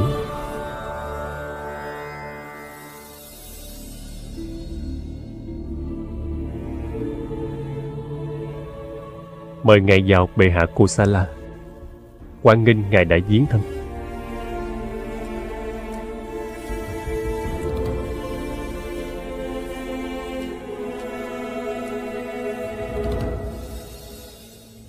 Ta đến là muốn xác thực một vài việc Nghe nói ngài đã truyền giới tỳ kheo Cho tên Angulimala Có đúng vậy không hả Đúng vậy. Thầy ấy đang dựa vào nỗ lực của bản thân để tìm cầu giải thoát. Ngài đến thật đúng lúc. Angulimala đâu rồi Lát nữa chúng ta hãy nói về chuyện này. Bây giờ xin Ngài hãy lắng nghe tỳ kheo thân yêu của ta nói vài lời. Đến đây, thầy Ahimsaka.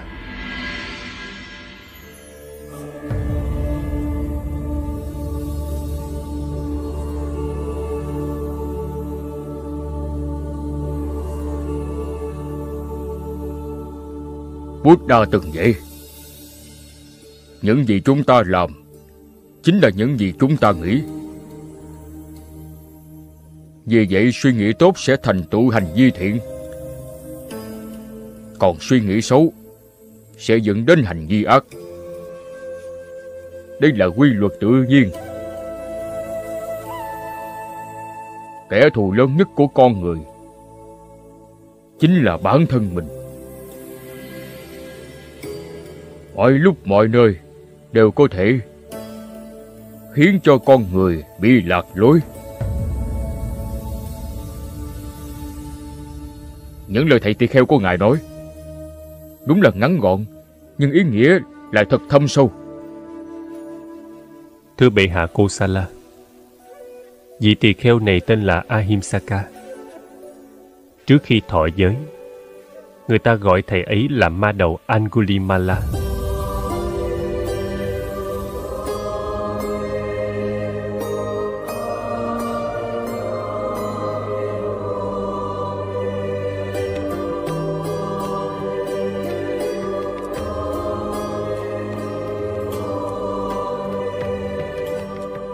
Trước đây ta từng nghe nói, Tội phạm giết người trở thành người tu hành.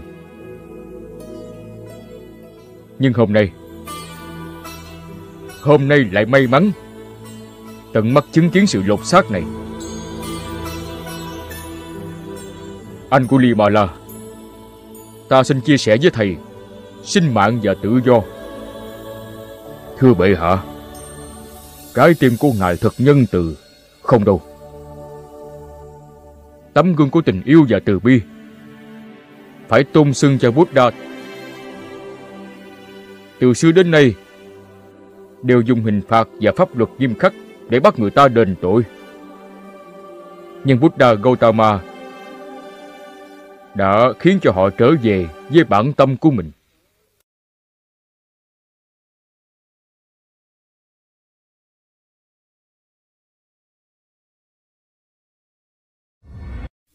Kẻ thù đáng sợ nhất của con người chính là bản thân họ. Những gì chúng ta làm chính là những gì chúng ta đang nghĩ. Suy nghĩ tốt thành tựu hành vi thiện. Suy nghĩ xấu sẽ dẫn đến hành vi ác. Đó là quy luật của tự nhiên.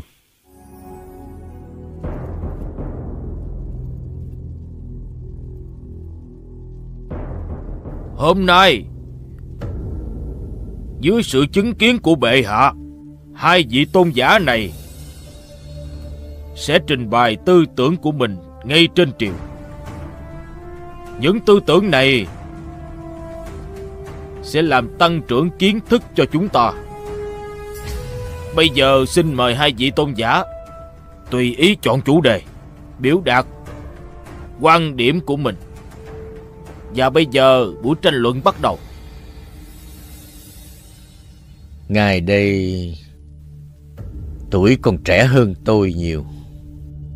Vì thế, xin mời Ngài chọn chủ đề trước. Ngài nói đi. Ngài muốn thảo luận vấn đề gì? Thính an tôn giả. Xin Ngài chỉ giáo cho. Một vị bà la môn đúng nghĩa, thì phẩm chất họ phải có là gì? Nếu Ngài muốn, có thể trích dẫn điển cố trong kinh Vệ Đà. Tinh thông Vệ Đà là sở trường hàng đầu của Sonadanda. Những vấn đề liên quan đến kinh điển Vệ Đà, ngày ấy đáng gọi là bậc thầy. Thưa tỳ kheo Gotama, một bà la môn đúng nghĩa phải có đầy đủ năm phẩm chất. Đó là tướng mạo đoan trang, tinh thông nghi thức văn tế, bảy đời truyền thừa quyết thống trong sạch, học thức đúng đắn, và thiện nghiệp không thể thiếu bất kỳ một điều nào. Trong năm phẩm chất đó, thì phẩm chất nào được cho là quan trọng nhất? Nếu bỏ bớt bất cứ một phẩm chất nào, còn có thể gọi là bà la môn đúng nghĩa không? Quan trọng nhất là hai phẩm chất cuối cùng, đó là học thức đúng đắn và thiện nghiệp. Tướng mạo dễ nhìn tinh thông nghi thức văn tế và bảy đời truyền thừa huyết thống trong sạch đều không quan trọng. Thành thật xin lỗi. Đại sứ Sonadanda nói vậy là sai rồi. Là do Buddha cố ý mê hoặc ngày ấy. Rõ ràng là sỉ nhục Bà La Môn. Không sai, đây là sự sỉ nhục. Nói đúng lắm, là sự sỉ nhục. Không sai, đây cũng là sự nhục của tôi. Chư vị tôn giả Nếu mọi người thấy không tin tưởng Sonadanda Trước tiên xin hãy bình tĩnh Để nghe ngài ấy nói hết đã. Nếu vị nào vẫn còn thắc mắc Cũng có thể đứng ra Thay ngài ấy tiếp tục biện luận về đề mục này Ta nhất định trả lời tất cả những gì mình biết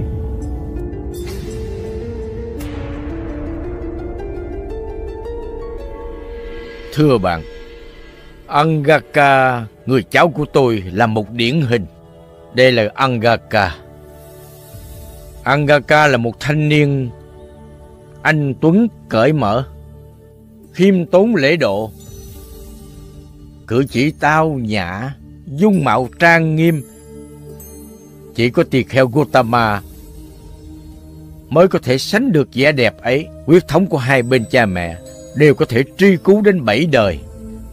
Lại tinh thông về đà, ba loại phẩm chất ở trước đều có thể gọi là hoàn hảo. Nhưng xét kỹ tư tưởng của anh ta thì phát hiện ra anh chàng Angaka này là người nghiện rượu, sát sinh, dâm loạn, nói dối, thậm chí còn trộm cắp. Vì thế ba phẩm chất kia hoàn toàn không còn giá trị. Do đó thưa các bạn, thiện nghiệp và trí tuệ mới là phẩm chất đặc thù của một bà la môn đúng nghĩa. Thế thì giữa hai đặc tính ấy, Ngài cho rằng phẩm chất nào quan trọng hơn? Thiện nghiệp và trí tuệ vốn cùng một nguồn gốc. Nó cũng giống như là cánh tay này rửa sạch cho cánh tay kia. Dùng chân này gãi ngứa cho chân kia. Chúng ta có thể hiểu đơn giản là như vậy. Thiện nghiệp và trí tuệ cùng hỗ trợ thành tựu cho nhau. Thiện nghiệp khiến cho con người phát sinh ra trí tuệ. Còn trí tuệ thì dẫn dắt cho hành vi làm đúng chánh pháp. Đây chính là chân ngôn quyền bí của cuộc đời. Hay lắm. Nói rất hay sonadada. Ta cảm thấy rất tự hào về ông.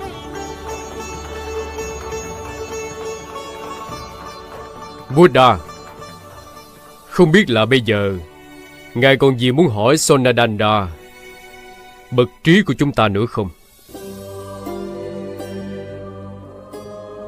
Ngài nói thật chí lý Sonadanda Thiện nghiệp và trí tuệ là hai yếu tố quan trọng nhất của đời người xin Ngài hãy nói xem, làm sao để phát huy thiện hạnh và trí tuệ đến chỗ ưu việt nhất.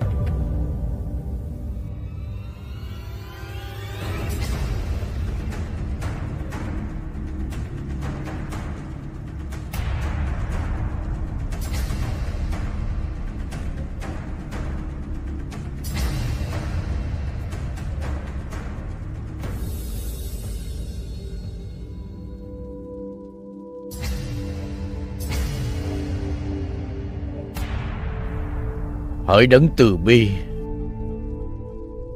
Vừa rồi ngài đã dẫn dắt con vào đề tài này. Nhưng con chỉ hiểu về nguyên tắc lý luận. Ngài là bậc giác ngộ, đã chứng được chân lý tối thượng.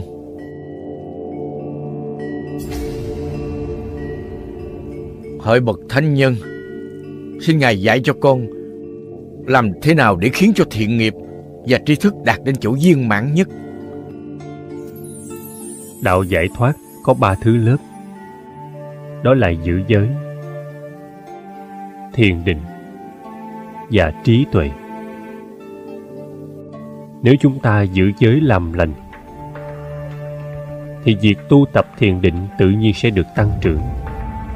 Mà từ trong thiền định lại sanh khởi trí tuệ nếu như tất thảy mọi người đều làm việc lành, thì có thể chiến thắng dục vọng, phẫn nộ, ngu si, ảo tưởng và ham muốn. Đạt được sự giải thoát, hòa bình và sự an vui.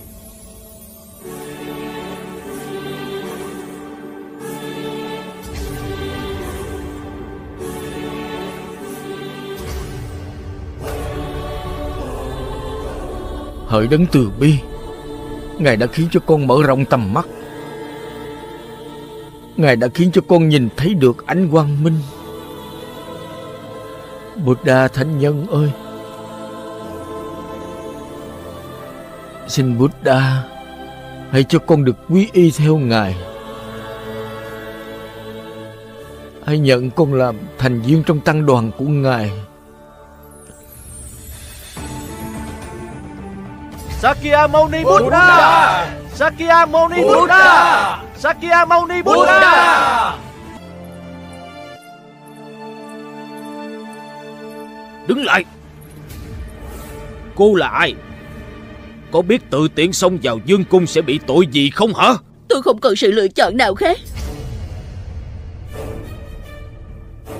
Hôm nay Tôi vào trong đại điện này. Chỉ mong Buddha trả lời một vài thắc mắc Người muốn hỏi thì đến tinh xá của Buddha mà hỏi Ra ngoài cho ta. Mau lên! Đại sư à Cứ để cho cô ta hỏi. Miễn là Buddha không ngại là được. Người muốn hỏi gì đi? Mâu Ni Gotama Ngài thuyết pháp cho mọi người Và rất được mọi người yêu quý. Không lẽ Không lúc nào mà Ngài nghĩ đến Người phụ nữ đáng thương vì ngày mà bụng mang dạ chữa.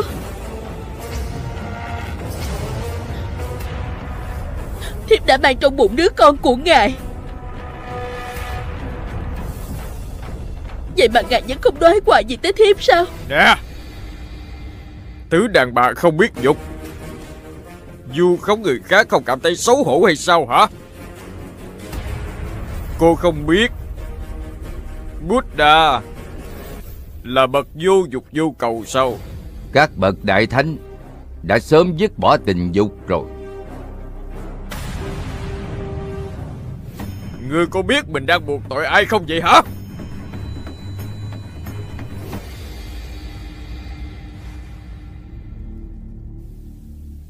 Cô gái à chỉ có hai người có thể xác nhận tất cả những gì con nói là thật hay là giả? Đó chính là con và ta.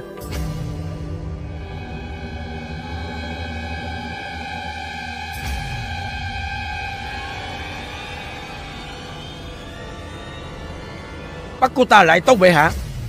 Chỉ đợi ngài ra lệnh là chúng thần sẽ ra tay ngay, Sẽ mang cô ta ra tra khảo nghiêm khắc. Để trả lại chân tướng Và danh dự của Buddha Bắt cô Bắt ta cô ta lại lại, Bắt cô ta lại bắt cô ta Bắt cô ta lại, lại bắt cô ta lại. Bắt cô ta lại Thả tôi ra. Bắt cô ta lại đi Bắt cô ta lại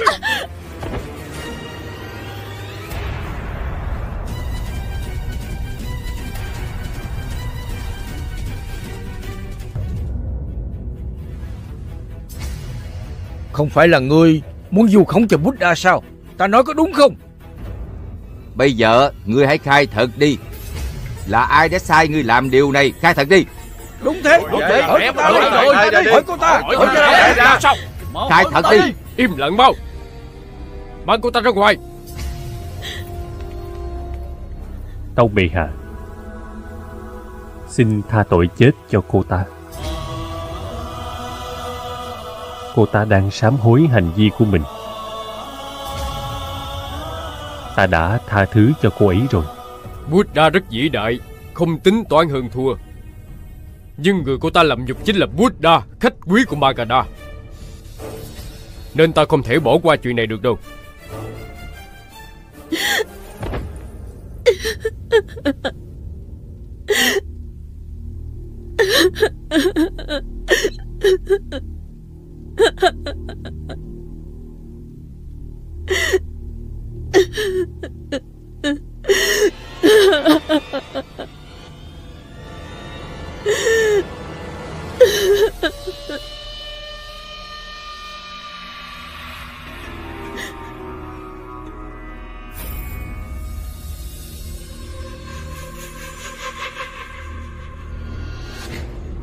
Quả nhiên ta đoán không sai. Ý tưởng thối tha này Chỉ có dương tử Devadatta mới dám nghĩ ra. Ta không hiểu ngài đang nói gì hết. Anh có thể biết được điều gì chứ? Chỉ cần giận lên thì không còn biết suy nghĩ gì nữa cả. Anh xem đi. Ngày trước vì một cơn giận của anh Đã làm mất đi tình bạn của chúng ta. Hôm nay ta bắt nhốt cô ta. Chúng ta trở lại tốt đẹp như xưa nhưng mà ta đang thắc mắc là tại sao Bạn này để cô ta sống? Devadatta à Vì tâm địa ta nhân từ mà. Nếu như ta không nhốt cô ta lại, Cô ta sẽ đến quỳ lại cảm ơn Buddha, Rồi sau đó sẽ khai tên kẻ chủ mưu đứng phía sau ra. Nếu như vậy, anh có thể tiếp tục ở lại trong tăng đoàn nữa không? Vậy thì dương tử Devadatta Còn chỗ nào cho anh dung thân không đây?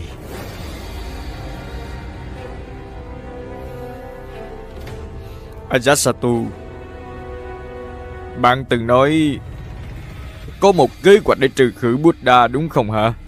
Cuối cùng thì anh cũng đã thông minh hơn một chút Đã trở về đúng với quỹ đạo. Bạn à Hãy giúp cho ta một việc nhỏ. Hãy thả cô gái này ra. Vẫn chưa đến thời điểm thích hợp Ajasatu ta sẽ không hành động mạo hiểm đâu. Ta phải tính toán kỹ lưỡng Bây giờ thanh kiếm bén này Đang nằm trong tay ta. Còn chuyện ta dùng nó thế nào? Thì cứ để cho thời gian Tự trả lời. Lúc đó bạn sẽ biết.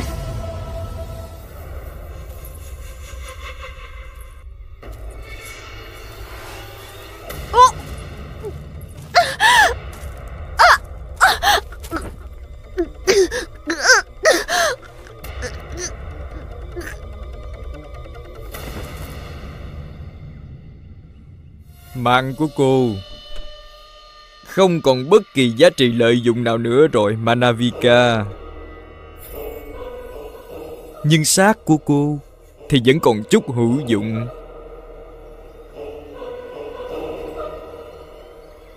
Đôi khi Vì đạt được mục tiêu Mà phải hy sinh thứ gì đó chứ đúng không hả? Quy y, Buddha đi.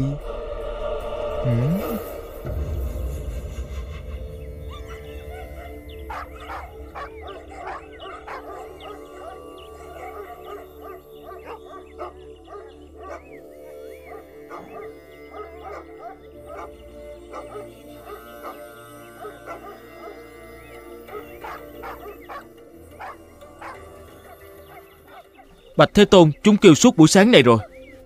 Ngài có bị tiếng kêu của chim thú quấy nhiễu không ạ? À?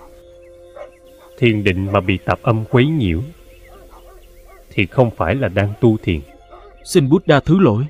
Chim thú cứ kêu mãi như thế nhất định có nguyên nhân gì đó. Thầy ra sau nhà xem thử. Rốt cuộc điều gì làm chúng nó hoảng loạn?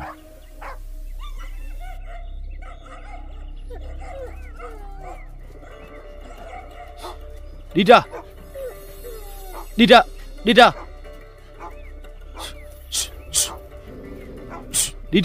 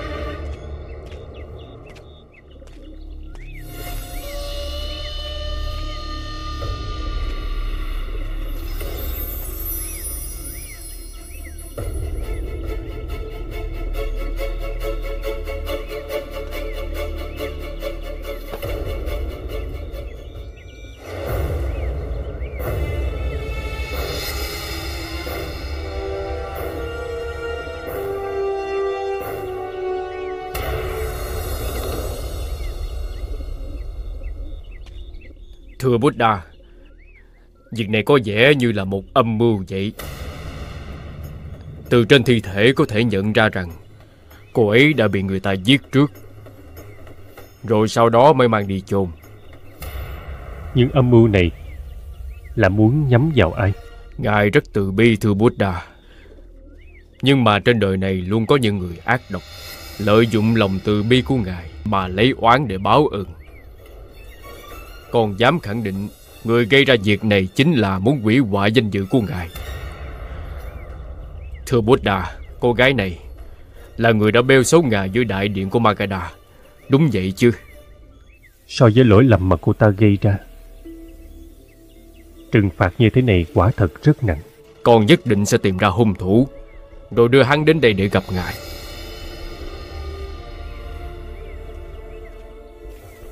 Thầy Anna Thầy sắp xếp nghi thức an táng cho cô ta đi.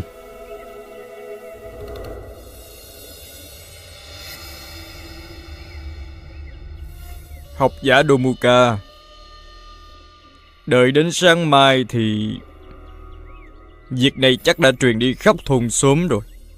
Nghe đây nghe đây! À, gì, chuyện gì, chuyện gì? Có thi Sao hương thất của Buddha Phát hiện thi thể của một cô gái. Thi thể hả? Thi thể hả?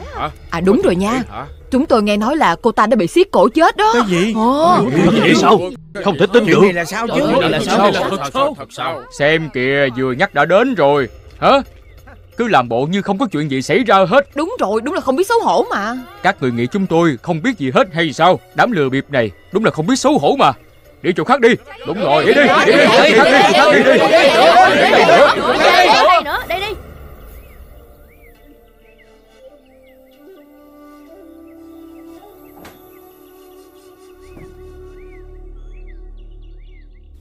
Nghe nói có một cô gái bị giết ngay chỗ cư trú của tăng đoàn các ông, có đúng như vậy không hả? Không sai chứ. Chưa hết, thi thể còn được chôn ở đằng sau hương thất của Buddha. Vậy mà còn muốn tới đây xin cơm hả? Đi ra chỗ khác giùm cái đi. Chúng ta không cúng đồ ăn cho kẻ giết người. Đi mau.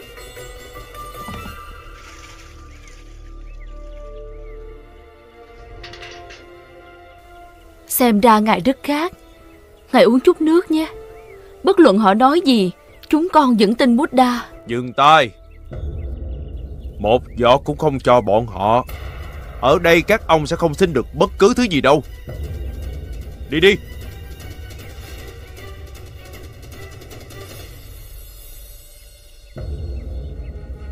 Thầy ấy sắp kiệt sức rồi. Từ khi thôn dân bắt đầu thù ghét các thầy tỳ kheo Thầy ấy không được ăn uống gì hết. Tiếp tục chịu đói như vậy Chỉ có thể chờ chết mà thôi. Họ đúng là vô tri. Sao có thể chỉ trích ngài Như vậy được chứ? Là lỗi của ta. Chính ta sẽ đích thân đi khất thực cho thầy. Làm sao mới có thể khiến cho người trong thôn tin Cái chết của cô gái đó Không hề liên quan đến chúng ta chứ Bây giờ mọi người trong thôn đều trút hết oán hận lên người chúng con, thưa Buddha. Lấy quán báo quán, thì quán kia không bao giờ dứt, đem yêu thương quá giải quán hận. Đó mới là nguyên tắc căn bản nhất. Nhưng mọi người đều cho rằng đây là sự thật. Chúng ta phải làm sao để Buddha? Có ba thứ. Tuyệt đối không bao giờ bị bóng tối che khuất. Đó là mặt trời, mặt trăng và chân tướng sự thật. Không có thức ăn thì chúng ta có thể kiên trì được Nhưng mà không có nước sẽ khó khăn lắm. Trong thời gian này Đối với các thầy là một thử thách vô cùng gian nan. Nhưng trong thiền định du già có một phương pháp Đó là đưa lưỡi ra rồi uống cong lên. Sau đó dùng miệng để hít thở. Như thế sẽ không cảm thấy khát nước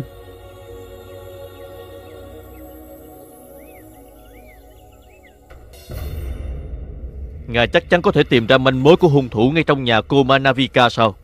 Kẻ đã làm việc ác nhất định lưu lại dấu vết. Lục soát đi.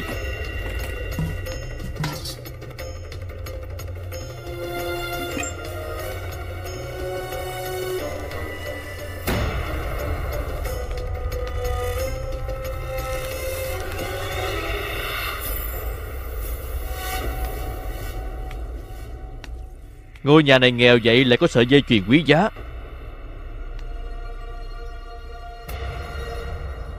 Đây là vật trang sức của đàn ông. Ở trên còn in dấu huy chương của dân tộc nữa. Dấu huy chương của tộc Sakiya sao?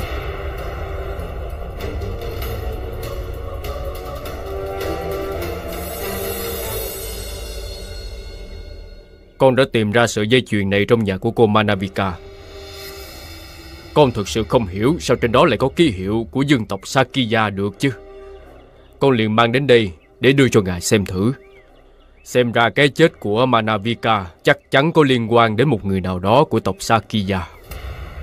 Người đó đã tìm đủ mọi cách để làm hại ngài. Thưa Buddha, Trong hàng đệ tử của ngài có rất nhiều tỳ kheo là dương tử của tộc Sakiya. Chắc là sẽ có người biết lai lịch của sợi dây chuyền này đó. Ta không dùng đến trang sức từ nhiều năm nay Nên không thể nhận ra nó.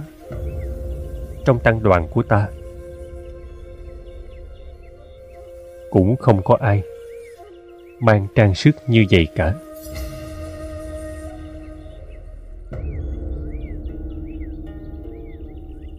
Thưa Buddha vẫn còn một việc nữa. Chúng còn hỏi thăm hàng xóm của Manavika. Họ nói khoảng một năm trước, Họ thấy có một người Thuộc dòng dõi dương tộc, Đã tìm đến nhà Manavika giữa đêm khuya. Thưa Buddha, Xem ra toàn bộ sự việc Chính là một âm mưu. Họ muốn tìm cách phỉ bán ngài và các tỳ kheo. Biết được việc này không liên quan đến ngài, Cho nên Bệ hạ Pasenadi có thể yên tâm rồi. Ngày mai con sẽ tuyên bố khắp các thôn làng. Thực ra Buddha và các tỳ kheo của ngài đều là những người trong sạch. Những lời đồn đại của người dân đối với tăng đoàn cũng nên sớm kết thúc tại đây.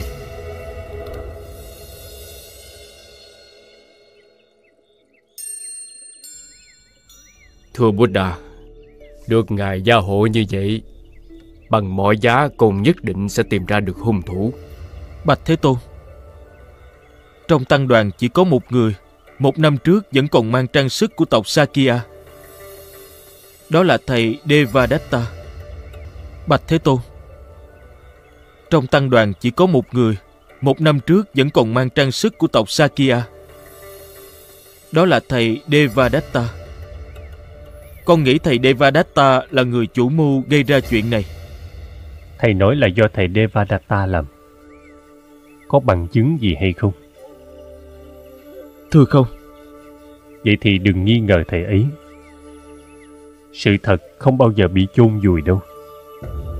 Nếu tất cả, tất cả những việc này đúng do thầy Devadatta đã làm, thì thầy ấy đối với nhu cầu giải thoát tất nhiên cực kỳ mãnh liệt. Nếu thầy Devadatta sanh tâm hổ thẹn, thì nội tâm sẽ chịu đựng mọi sự dày dò và càng mong muốn thoát ra được nỗi đau khổ này. Như trước để Angulimala có thể hồi sinh làm Ahimsaka, thì cũng phải tin tưởng Devadatta. Con người muốn lột xác, trước tiên cần phải tự giác.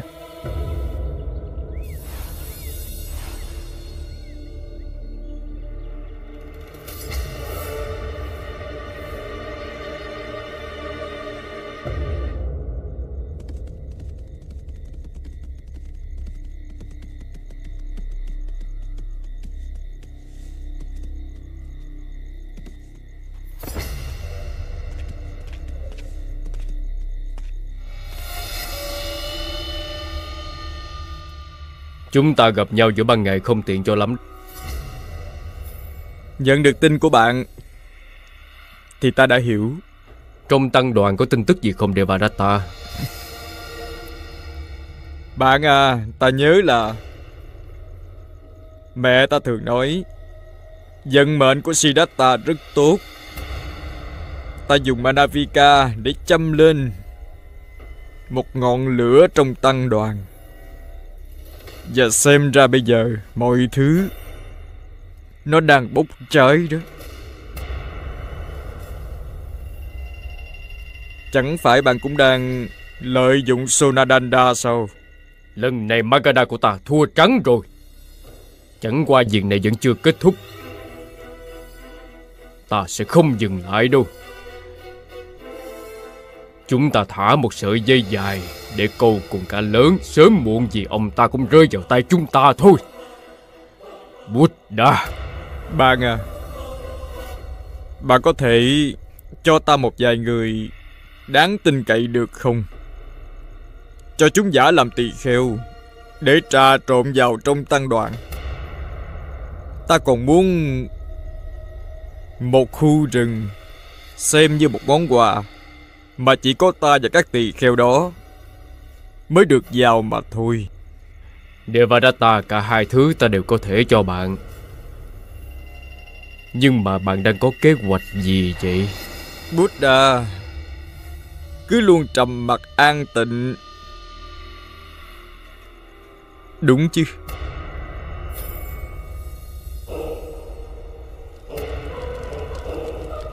Nếu như tăng đoàn châm lửa. Để Buddha kẹt trong đống lửa đó thì sao? Lúc đó, ta muốn xem thử. Ông ta có còn an nhiên được nữa hay không?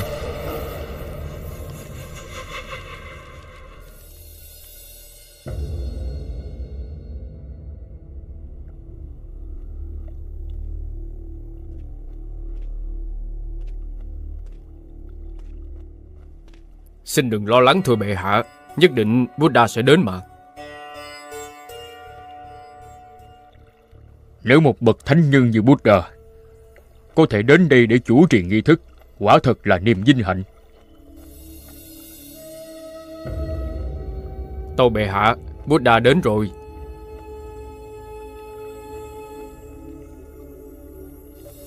Kính thỉnh an ngài Con có một lời thỉnh cầu hơi quá đáng. Xin bệ hạ cứ nói. Mấy ngày nay phụ dương con Thường xuyên xuất hiện Trong giấc mộng của con.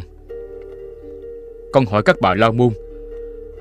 Họ nói chắc là do Linh hồn phụ dương chưa siêu thoát.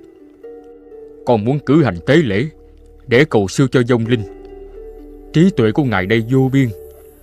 Con cầu xin ngài Hãy chủ trì buổi lễ tế này Để ăn ủi phụ dương con Khiến cho ông ấy Có thể được giải thoát.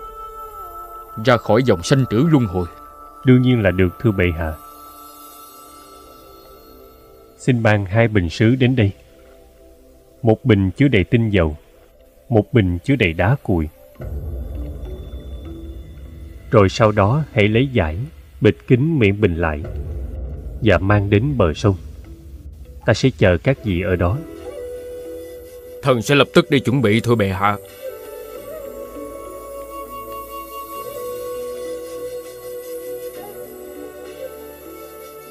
Thưa bệ hạ, Ngài hãy đem hai bình sứ Thả xuống nước.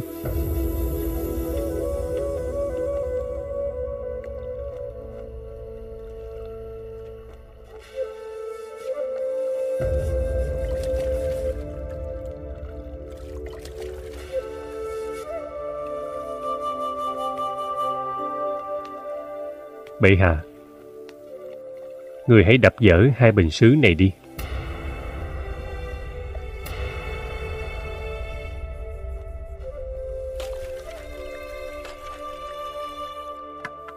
Thưa bệ hạ. Ngài hãy nhìn thật kỹ. Tinh dầu nổi lên trên mặt nước. Bây giờ Ngài thử nói xem Nếu mời người khác đến chủ trì tế lễ Những tinh dầu này có chìm xuống dưới đáy sông chăng? Không thể được. Vì đặc tính của tinh dầu vốn là vậy. Rất chính xác.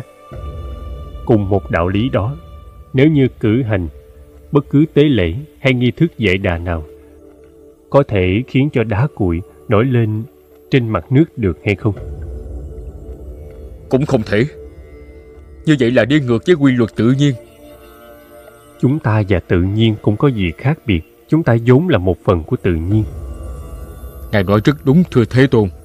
Thưa bệ hạ, trên thực tế Nếu như tổ tiên chúng ta đã từng gây ra lỗi lầm gieo quả không tốt thì những năm tháng còn lại của họ tự nhiên cũng giống như những hòn đá cuội kia vậy nó sẽ chìm sâu xuống đáy nước còn làm được những việc công đức thì cũng như tinh dầu nổi lên trên mặt nước vậy. Gieo nhân nào thì gặt quả đó. Không chỉ trong cơ thể của một kiếp này, mà còn suốt nhiều đời kiếp luân hồi khác nữa, đều phải gánh chịu nghiệp quả do họ đã gây ra. Ngài thử nói xem, quy luật tự nhiên này thì lễ cúng nào, kinh văn nào, việc hiến tế nào hay bất cứ nghi thức nào có thể thay đổi được nó. Thưa bệ hạ, dù là ta cũng không có năng lực đó, chỉ có việc thiện mới có thể giúp Ngài mở ra cánh cửa giải thoát. Rốt cuộc Ngài có thần binh gì? Chỉ trong thoáng chốc đã phơi bày. Hết chân tướng sự thật ra trước mắt. Nếu không có lòng thương xót của Ngài, con còn tàn sát bao nhiêu sinh linh nữa đi, Con rất may mắn được Ngài dùng thanh kiếm trí tuệ chặt đứt lòng ngạo mạn của con. Kính đa tạ Ngài.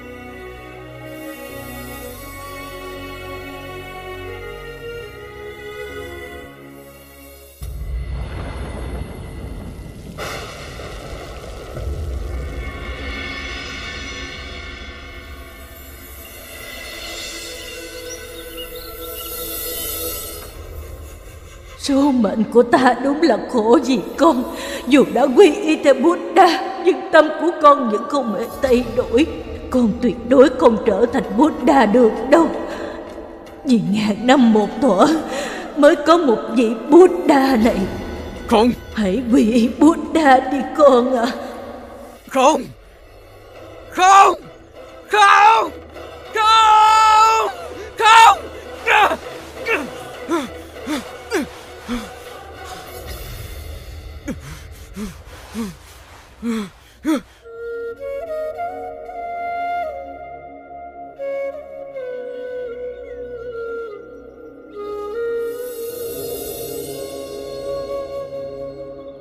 Xin Ngài tha thứ cho chúng con. Xin hãy cứu chúng con. Ngoài bản thân các thầy ra Không ai có thể cứu được các thầy. Không ai có thể làm được điều này cả.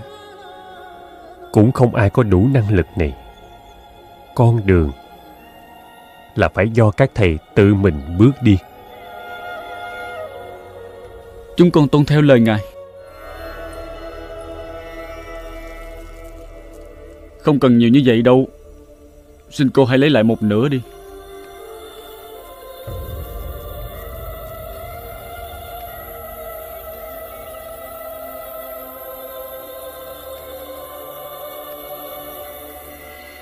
Ta có thể nói với ngài vài câu không? Được. Trong cuộc đời của ta Từng gặp rất nhiều vị quốc dương Và nhiều tôn giả học thức uyên bác. Nhưng mà trên gương mặt của họ Luôn có nét lo lắng âu sầu. Không hiểu sao tỳ kheo các thầy Lại luôn quan hỷ an lạc như vậy. Cắt đứt hết mọi dướng bận của quá khứ. Không xin khởi vọng niệm về tương lai. Tôi có thể cáo từ chứ? Xin đợi đã. Ta thấy rằng bác cô thầy vẫn còn trống.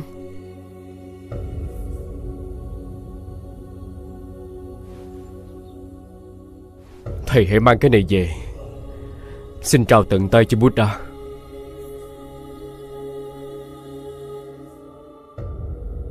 Bệ hạ Ajatasattu dặn con mang cái này về và trao tận tay cho ngài. Ta khất thực để sống qua ngày. Cần dương miệng này để làm cái gì chứ?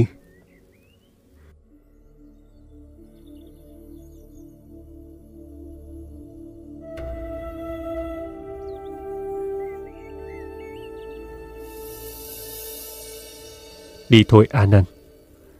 Thời khắc này lòng Ajatasattu sạch không bợn nhơ. Sao ông ta không đích thân đến đây? Lòng tự tôn không cho phép ông ấy đến đây gặp ta. Còn lòng từ bi của Ngài sẽ đưa Ngài đến gặp kẻ tội lỗi ấy. Người như vậy cũng có thể đi trên con đường an vui được sao?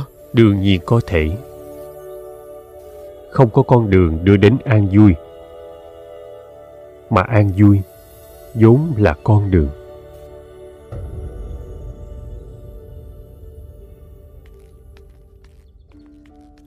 Bạch Buddha. Ngài đến rồi ư? Sao ngài không báo trước cho con? Xin mời Mau vào trong đi thưa Buddha. Ta đến đây đem vật này Trả lại cho chủ.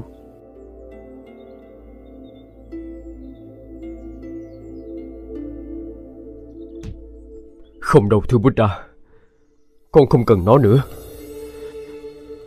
Tham vọng để có được nó đã khiến cho con gây ra biết bao lỗi lầm. Chỉ có lòng con biết rõ thôi nhưng con chưa từng nghe theo nó. Cả cuộc đời này, con đã chà đạp nó một cách rất tàn nhẫn. Nhưng mà ngày hôm nay, Lương tâm của con đã thực sự được đánh thức. Con muốn sự bình yên, Nếu không chắc con sẽ điên mất thôi Buddha. Bình yên khởi lên từ trong tâm.